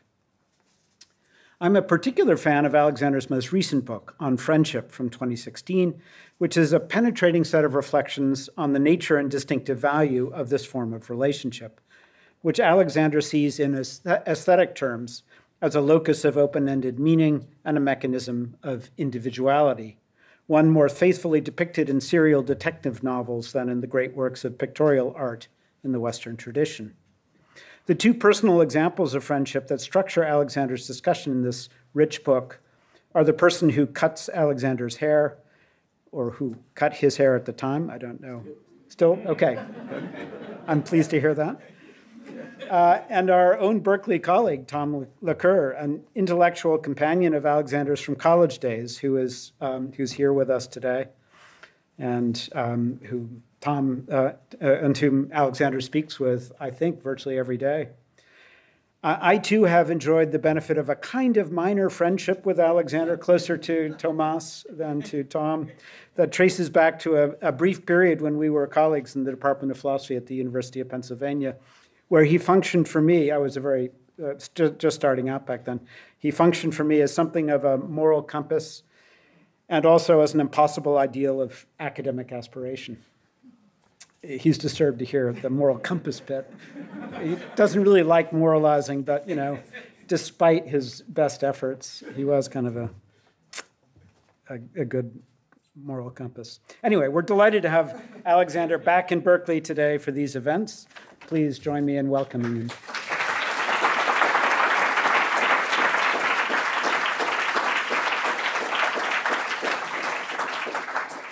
Thank you very much. I'm uh, very aware that I'm the last one here. You're probably exhausted, though you should also be very happy to have heard what you've heard so far. Um, uh, let me just go on, you know, instead of apologizing.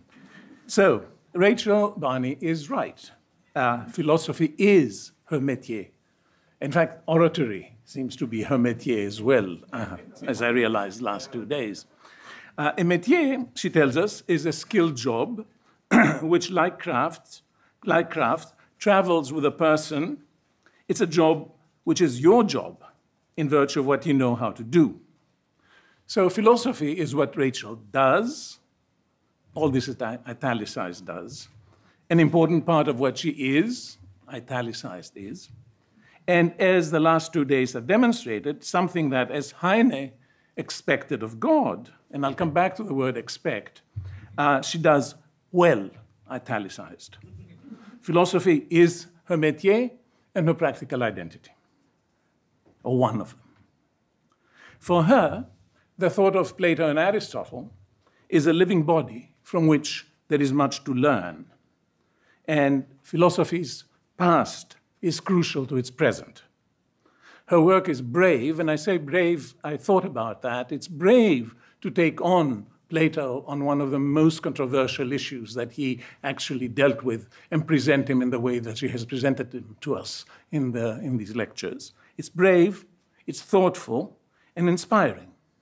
Her commitment to the ancients is not merely intellectual, but like her understanding of craft itself, affective as well. She reads them with rigor, but also, I dare say, with love, and an uncompromising commitment to their vision of craft, virtue, and society. This is the history of philosophy at its best. She does not, like many of us, think that we honor the figures of the past if we happen to find in them views that we happen to hold today. She looks instead for views that we don't hold and that we should make our own. Hers is an outstanding instance of our craft. But is philosophy a craft? Mm. She makes it clear that not every craft is a métier. More than a profession of a line of work, a métier is something I identify with as mine, she says. But what of the other direction? Is every métier a craft? In particular, is philosophy a craft? Well, I was amazed to find out that in Plato, in that vast oeuvre of Plato, philosophy and uh, techne are brought together twice in two passages only, and only in six in Aristotle, three of which are all from very early work of his, the Protrepticus. And nine, none of those passages clearly identifies philosophy as a techne.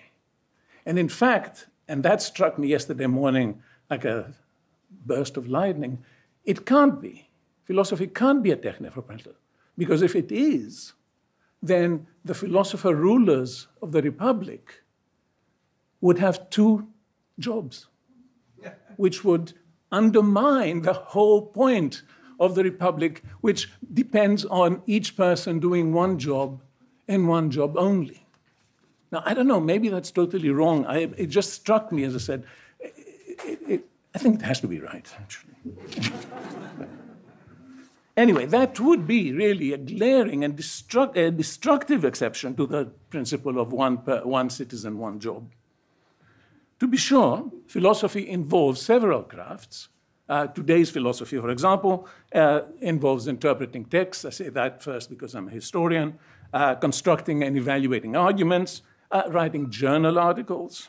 Uh, all these qualify us as members of a guild. In fact, Richard Rorty once described the PhD is our union card. Uh, but philosophy lacks a well defined end. The pursuit of truth will not do.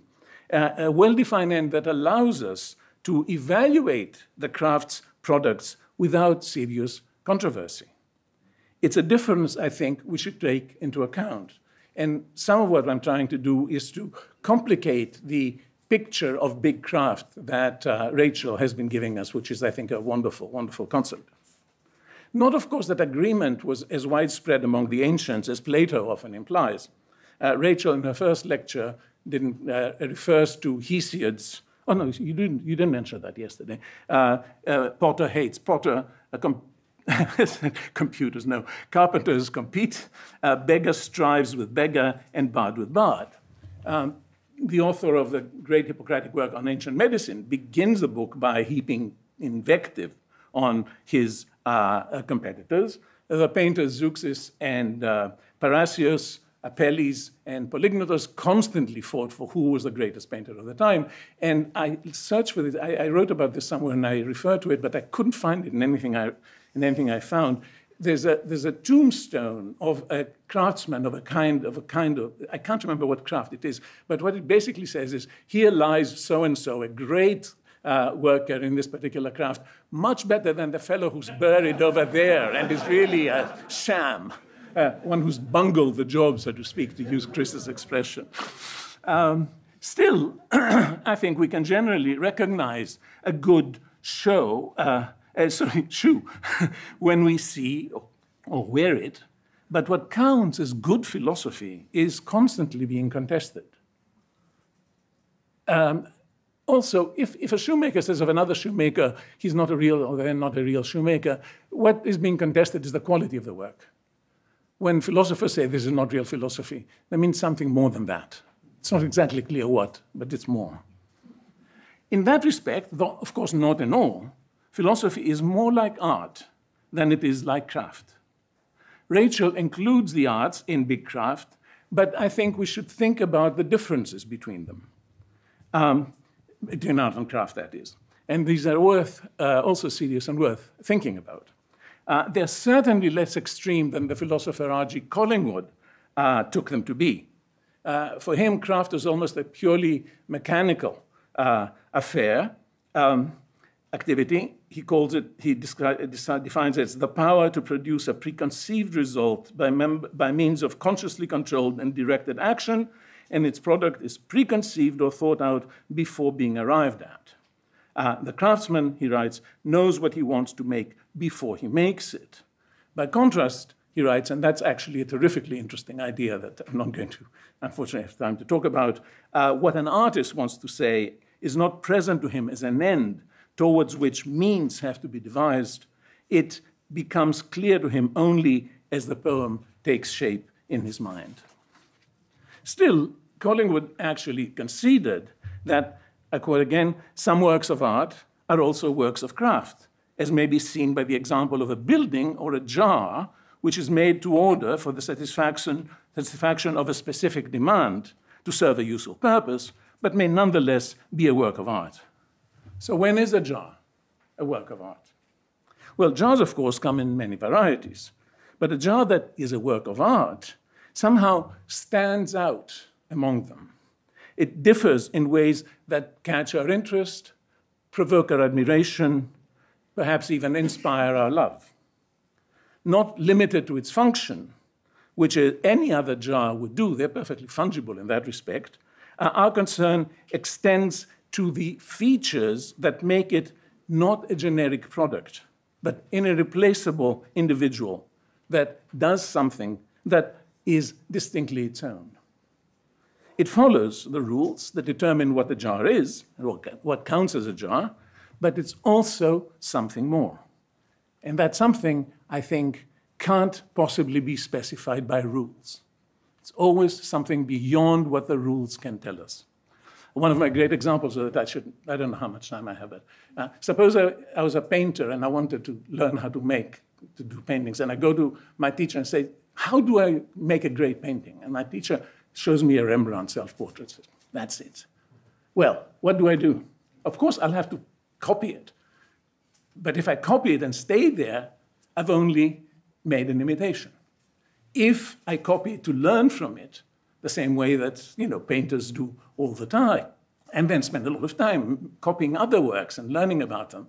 Eventually, if I have the talent, and if I'm lucky, and if everything works out, and have the right connections, whatever it takes to be a successful artist, I might make a great painting. But that great painting necessarily is going to differ from Rembrandt's painting. It has to be different. And yet, in some sense, I've imitated Rembrandt. I've imitated not the painting, but his accomplishment. anyway, that was an aside. Ah, sorry. Some crafts involve little or no variation. Mason jars, and I had some slides about that, but I, won't, I don't, uh, I'm not going to bother, are all pretty much the same. They differ a little in size and color and a little bit in shape. They're generally equally good at what they do, and who makes them doesn't really matter. Style is more or less irrelevant to mason jars. Other crafts are more flexible. The requirements that shoes must meet, for example, establish a broader, though still, in my opinion, rather narrow range of variation. The material, shape, and color can differ, their quality can be, is variable, and the makers can matter, which is why they come with names, a Ferragamo, Nike, or whatever it is, that, uh, that uh, suggest a generic kind of style. In shoemaking, as in craft making more generally, a good shoe, once you figure out how to make it, establishes a pattern that, with the right training, others can make as well. And though they differ in quality more than mason jars, the distance between good shoes and bad is relatively short, certainly shorter than the pain a bad shoe can cause, might make us think. Uh, Rachel writes that the, the slope between making a shoe well, making it not so well, making it badly, and not having succeeded in making a shoe at all is slippery. It, I agree, but it's not very long. now, however long that slope can be, the variety of shoes pales before the kinds of art and philosophy. The forms philosophy has taken, for example, include, and here I'm using a wonderful list that Arthur Danto once uh, uh, uh, included in, in, his presidential address to the Philosophical Association. They include dialogues, lecture notes, fragments, poems, examinations, essays, aphorisms, meditations, discourses, hymns, critiques, letters, summae, encyclopedias, testaments, commentaries, investigations, tractatuses, Vorlesungen, Aufbauen, prolegomena, parerga, pensée, sermons, supplements, confessions, sententiae, inquiries, diaries, outlines, sketches, commonplace books, addresses, and innumerable forms that have no generic identity or that themselves constitute distinct genres, and it goes on. The views presented now in these forms are even more multifarious. Uh, Wikipedia actually lists 192 schools of philosophy. Uh, it, it, many of them are to be, uh, you know, sus suspected, but I think there are probably others that they haven't included. But uh, think of the um, tremendous differences between the various schools of philosophy, and then think also of the tremendous differences between the adherents of each school of philosophy. Uh, as to the qualitative differences between them, think of Plato, Kant, or Wittgenstein on the one hand, and many papers in many philosophy journals today. or again, think of the distance between any work of Manet and a velvet uh, portrait of Elvis. But more than the huge variety in form and content distinguishes art and philosophy from craft. Craft succeeds when applying the rules is bound to result at best. Sorry, oh, craft succeeds when applying the rules attains a worthwhile result. In the arts and philosophy, by contrast, rule following is bound to result at best in mediocrity, at worst in failure. The point here is to accomplish something new, something others haven't already accomplished, something like Collingwood's jar that goes beyond what is required for being a member of a school or a genre.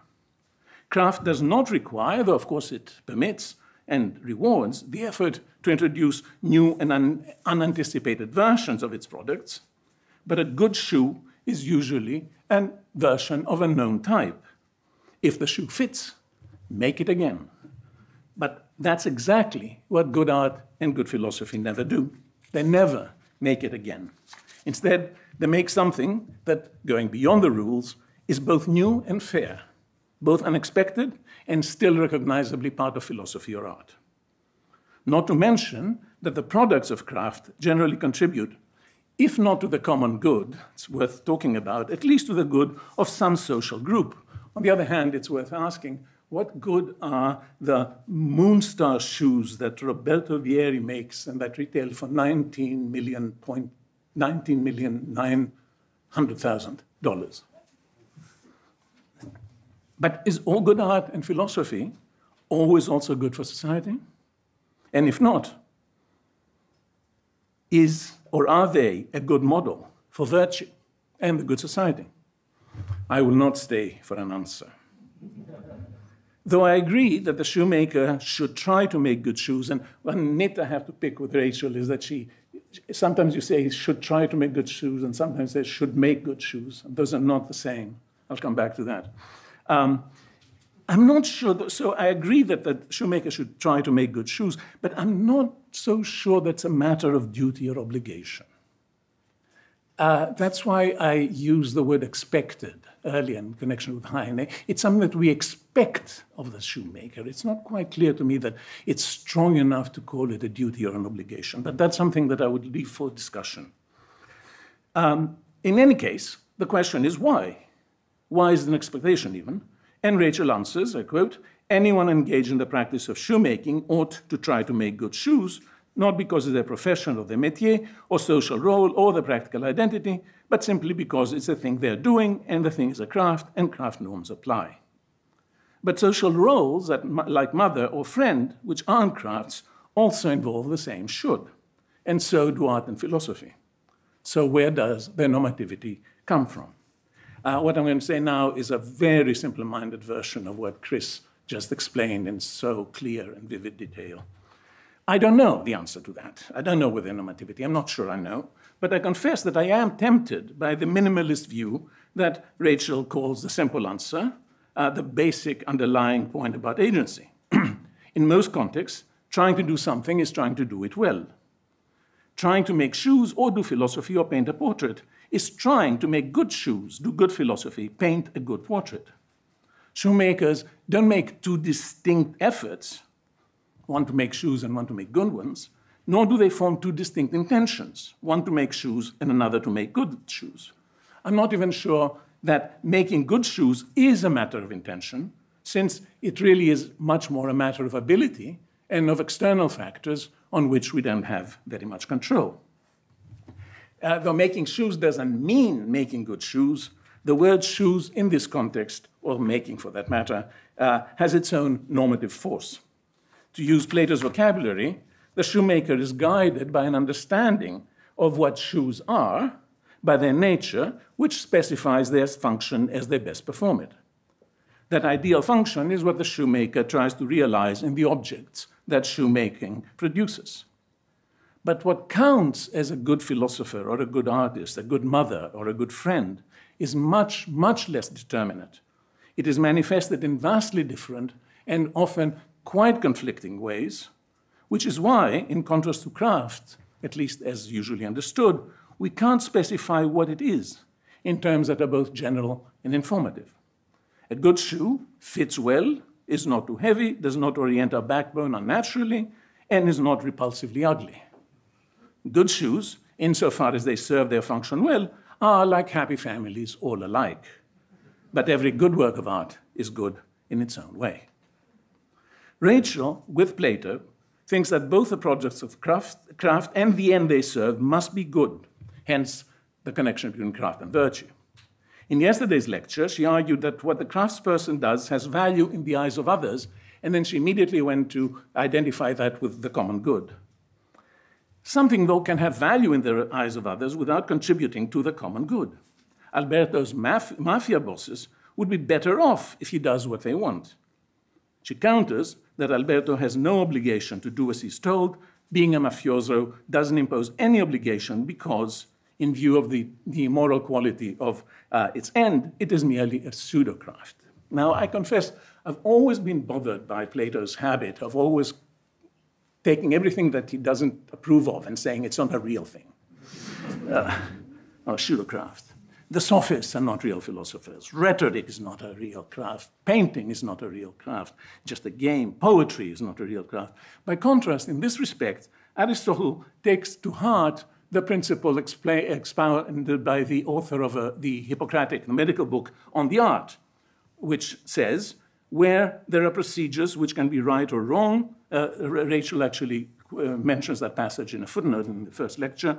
A consideration of these must constitute a craft, technique. For my part, I say that there is no craft where there is neither a right way nor a wrong way. The rhetoric and the poetics uh, find and determine that right and wrong, well and badly, apply to both oratory and poetry, and secured by that criterion their status as craft, as techne. These works approach craft in a way that is more formalist than Plato's. They agree with Rachel's account up to the point when she identifies the end of a craft with a common good.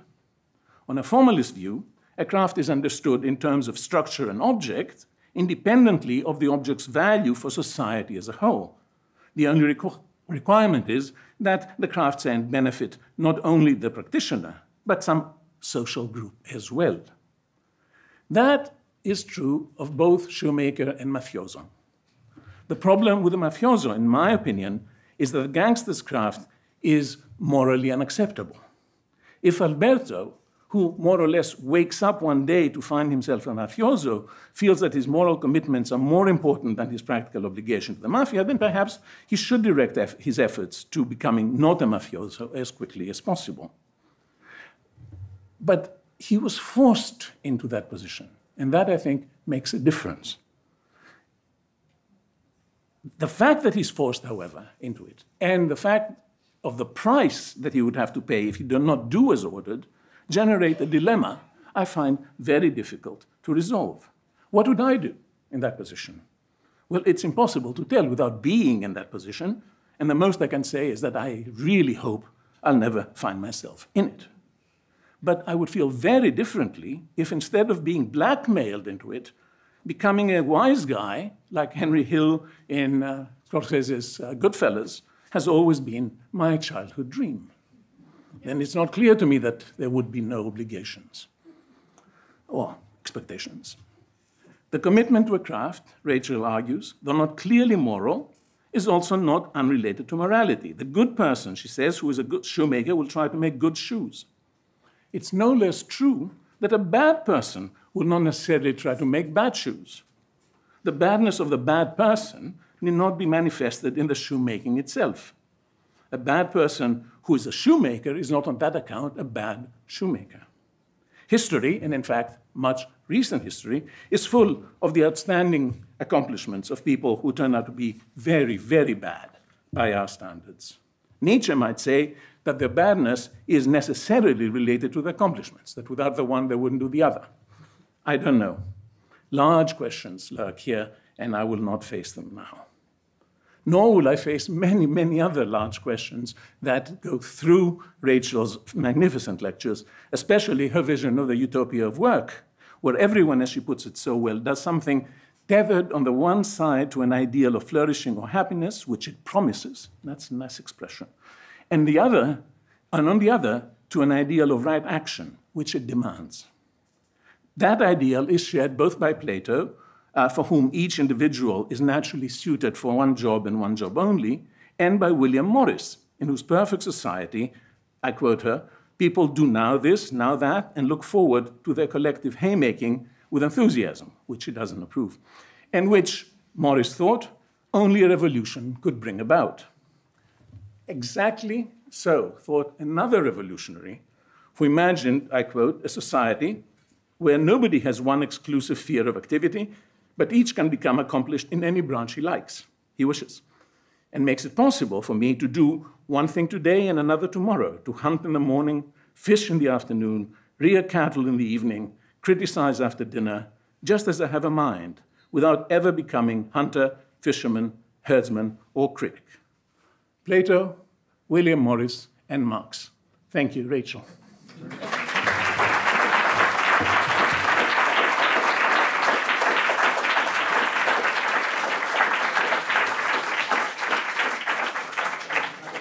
Great shoes, by the way. We love your shoes. Check them out.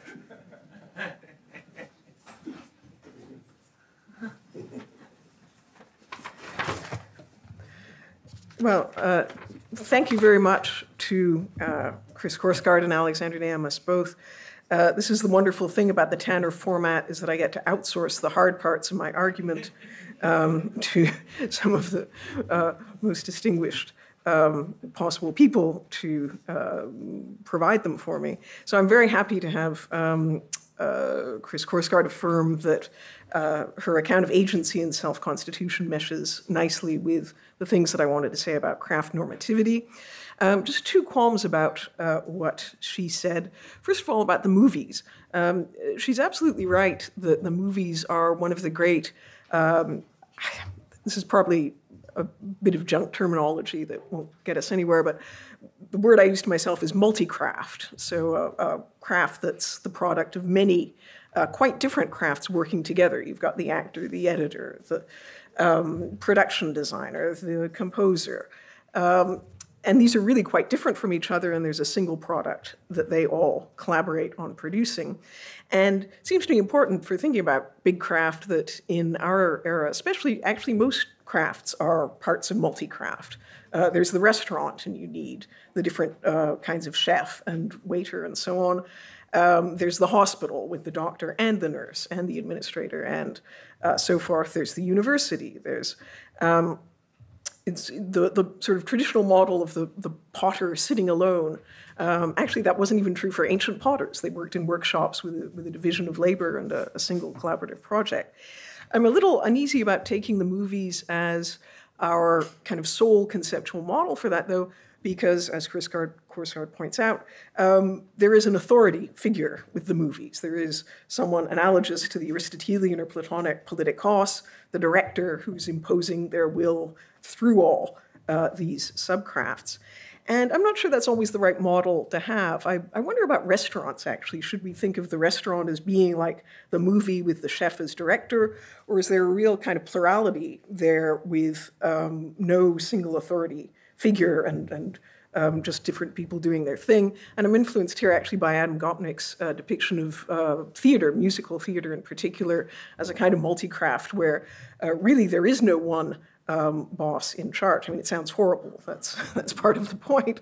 Makes the process a lot more difficult. But some multi-crafts genuinely are like that.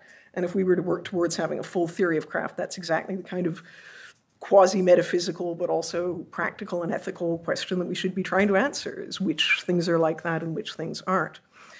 Um, uh, my other qualm about uh, the Guardian picture has to, I don't even know if this is a qualm or just a trivial point that I want to reaffirm, but I'm a bit worried about the burglar uh, washing the windows and also the dishonest builder, um, because I do want to reaffirm that even if we um, want to say the builder doesn't really want to build a house, he just wants to convince people that he's um, built a house so as to make money out of it, uh, there is still a sense in which, um, again, if you're doing the activity, you're subject to the norms of the craft. Um, I can't help being reminded of the old joke. It might even be a, a New Yorker cartoon about the actor who is working as a waiter and people complain about the quality of the service, and he says, "Well, you know, I'm not really a waiter. I'm uh, an actor. Come see my play. you know, this is this is supposed to be, you know, no, that's not uh, an adequate um, explanation or response." Um, and we don't, in fact, let the dishonest builder off the hook. There's a sense in which it is actually very informative and interesting, and uh, I would say also Platonic, to pick out what the end of the dishonest builder's activity is. That's an important way of looking uh, at what he's doing, but it still actually is the case that he's building a house and he's subject to craft norms. And I don't think Chris wanted to deny that at all, but um, I wanted to make sure that it was uh, still in view. Um, turning to Alexander's comments just very briefly, I think I'll defer thinking about the relation of art and craft till tomorrow. I think that should be a, a big theme for our, our session on Friday. Um, and I'd also like to defer what I think we should call the Henry Hill problem of whether maybe a bad craft could oblige in um, some odd way, because that seems like an important question too. Uh, is philosophy a craft? Huh. Well, I, I, was hoping no one was going to uh, raise that question, um, but here we are, and I think uh, I agree with Alexander that it's not, actually. Um, and he has a number of good reasons for saying that. It doesn't seem to be rule bound in the right sort of way. There's a huge variety of form and content. And like the artist, the philosopher tries uh, to make something new, to say something that hasn't been said before in a way that isn't um, necessarily uh, true for the shoemaker. So I have a, a pessimistic uh, way of putting the same thought, um, which is uh, to compare to. Had a friend in high school who went off to do something like the Canadian version of the Peace Corps in uh, extremely rural Zimbabwe. And uh, before she left, she was given a copy of a book called Where There Is No Doctor. And the point of Where There Is No Doctor is it will tell you how to amputate your own limbs and uh, deal with snake venom and basically do what you can to get by where there is no doctor. And so I see philosophy as something a bit similar. Uh, it's the enterprise of where there is no scientist, um, where there is no method, because it's something we didn't talk about much, but a craft isn't only constituted by having an end. Um, you know, we could all have the end of being healthy. Um, what's constitutive of being a doctor is you've got methods for attaining that end. Um, you've got a system which is reliable at producing it. And so, my somewhat pessimistic way of reframing Alexander's point would be to say uh, that philosophy is the mode of truth oriented intellectual inquiry which we're engaged in where we don't have a method and don't really uh, know, or at least don't agree about what the right method would be. Um, so, I think that's probably the note to end on. Thank you.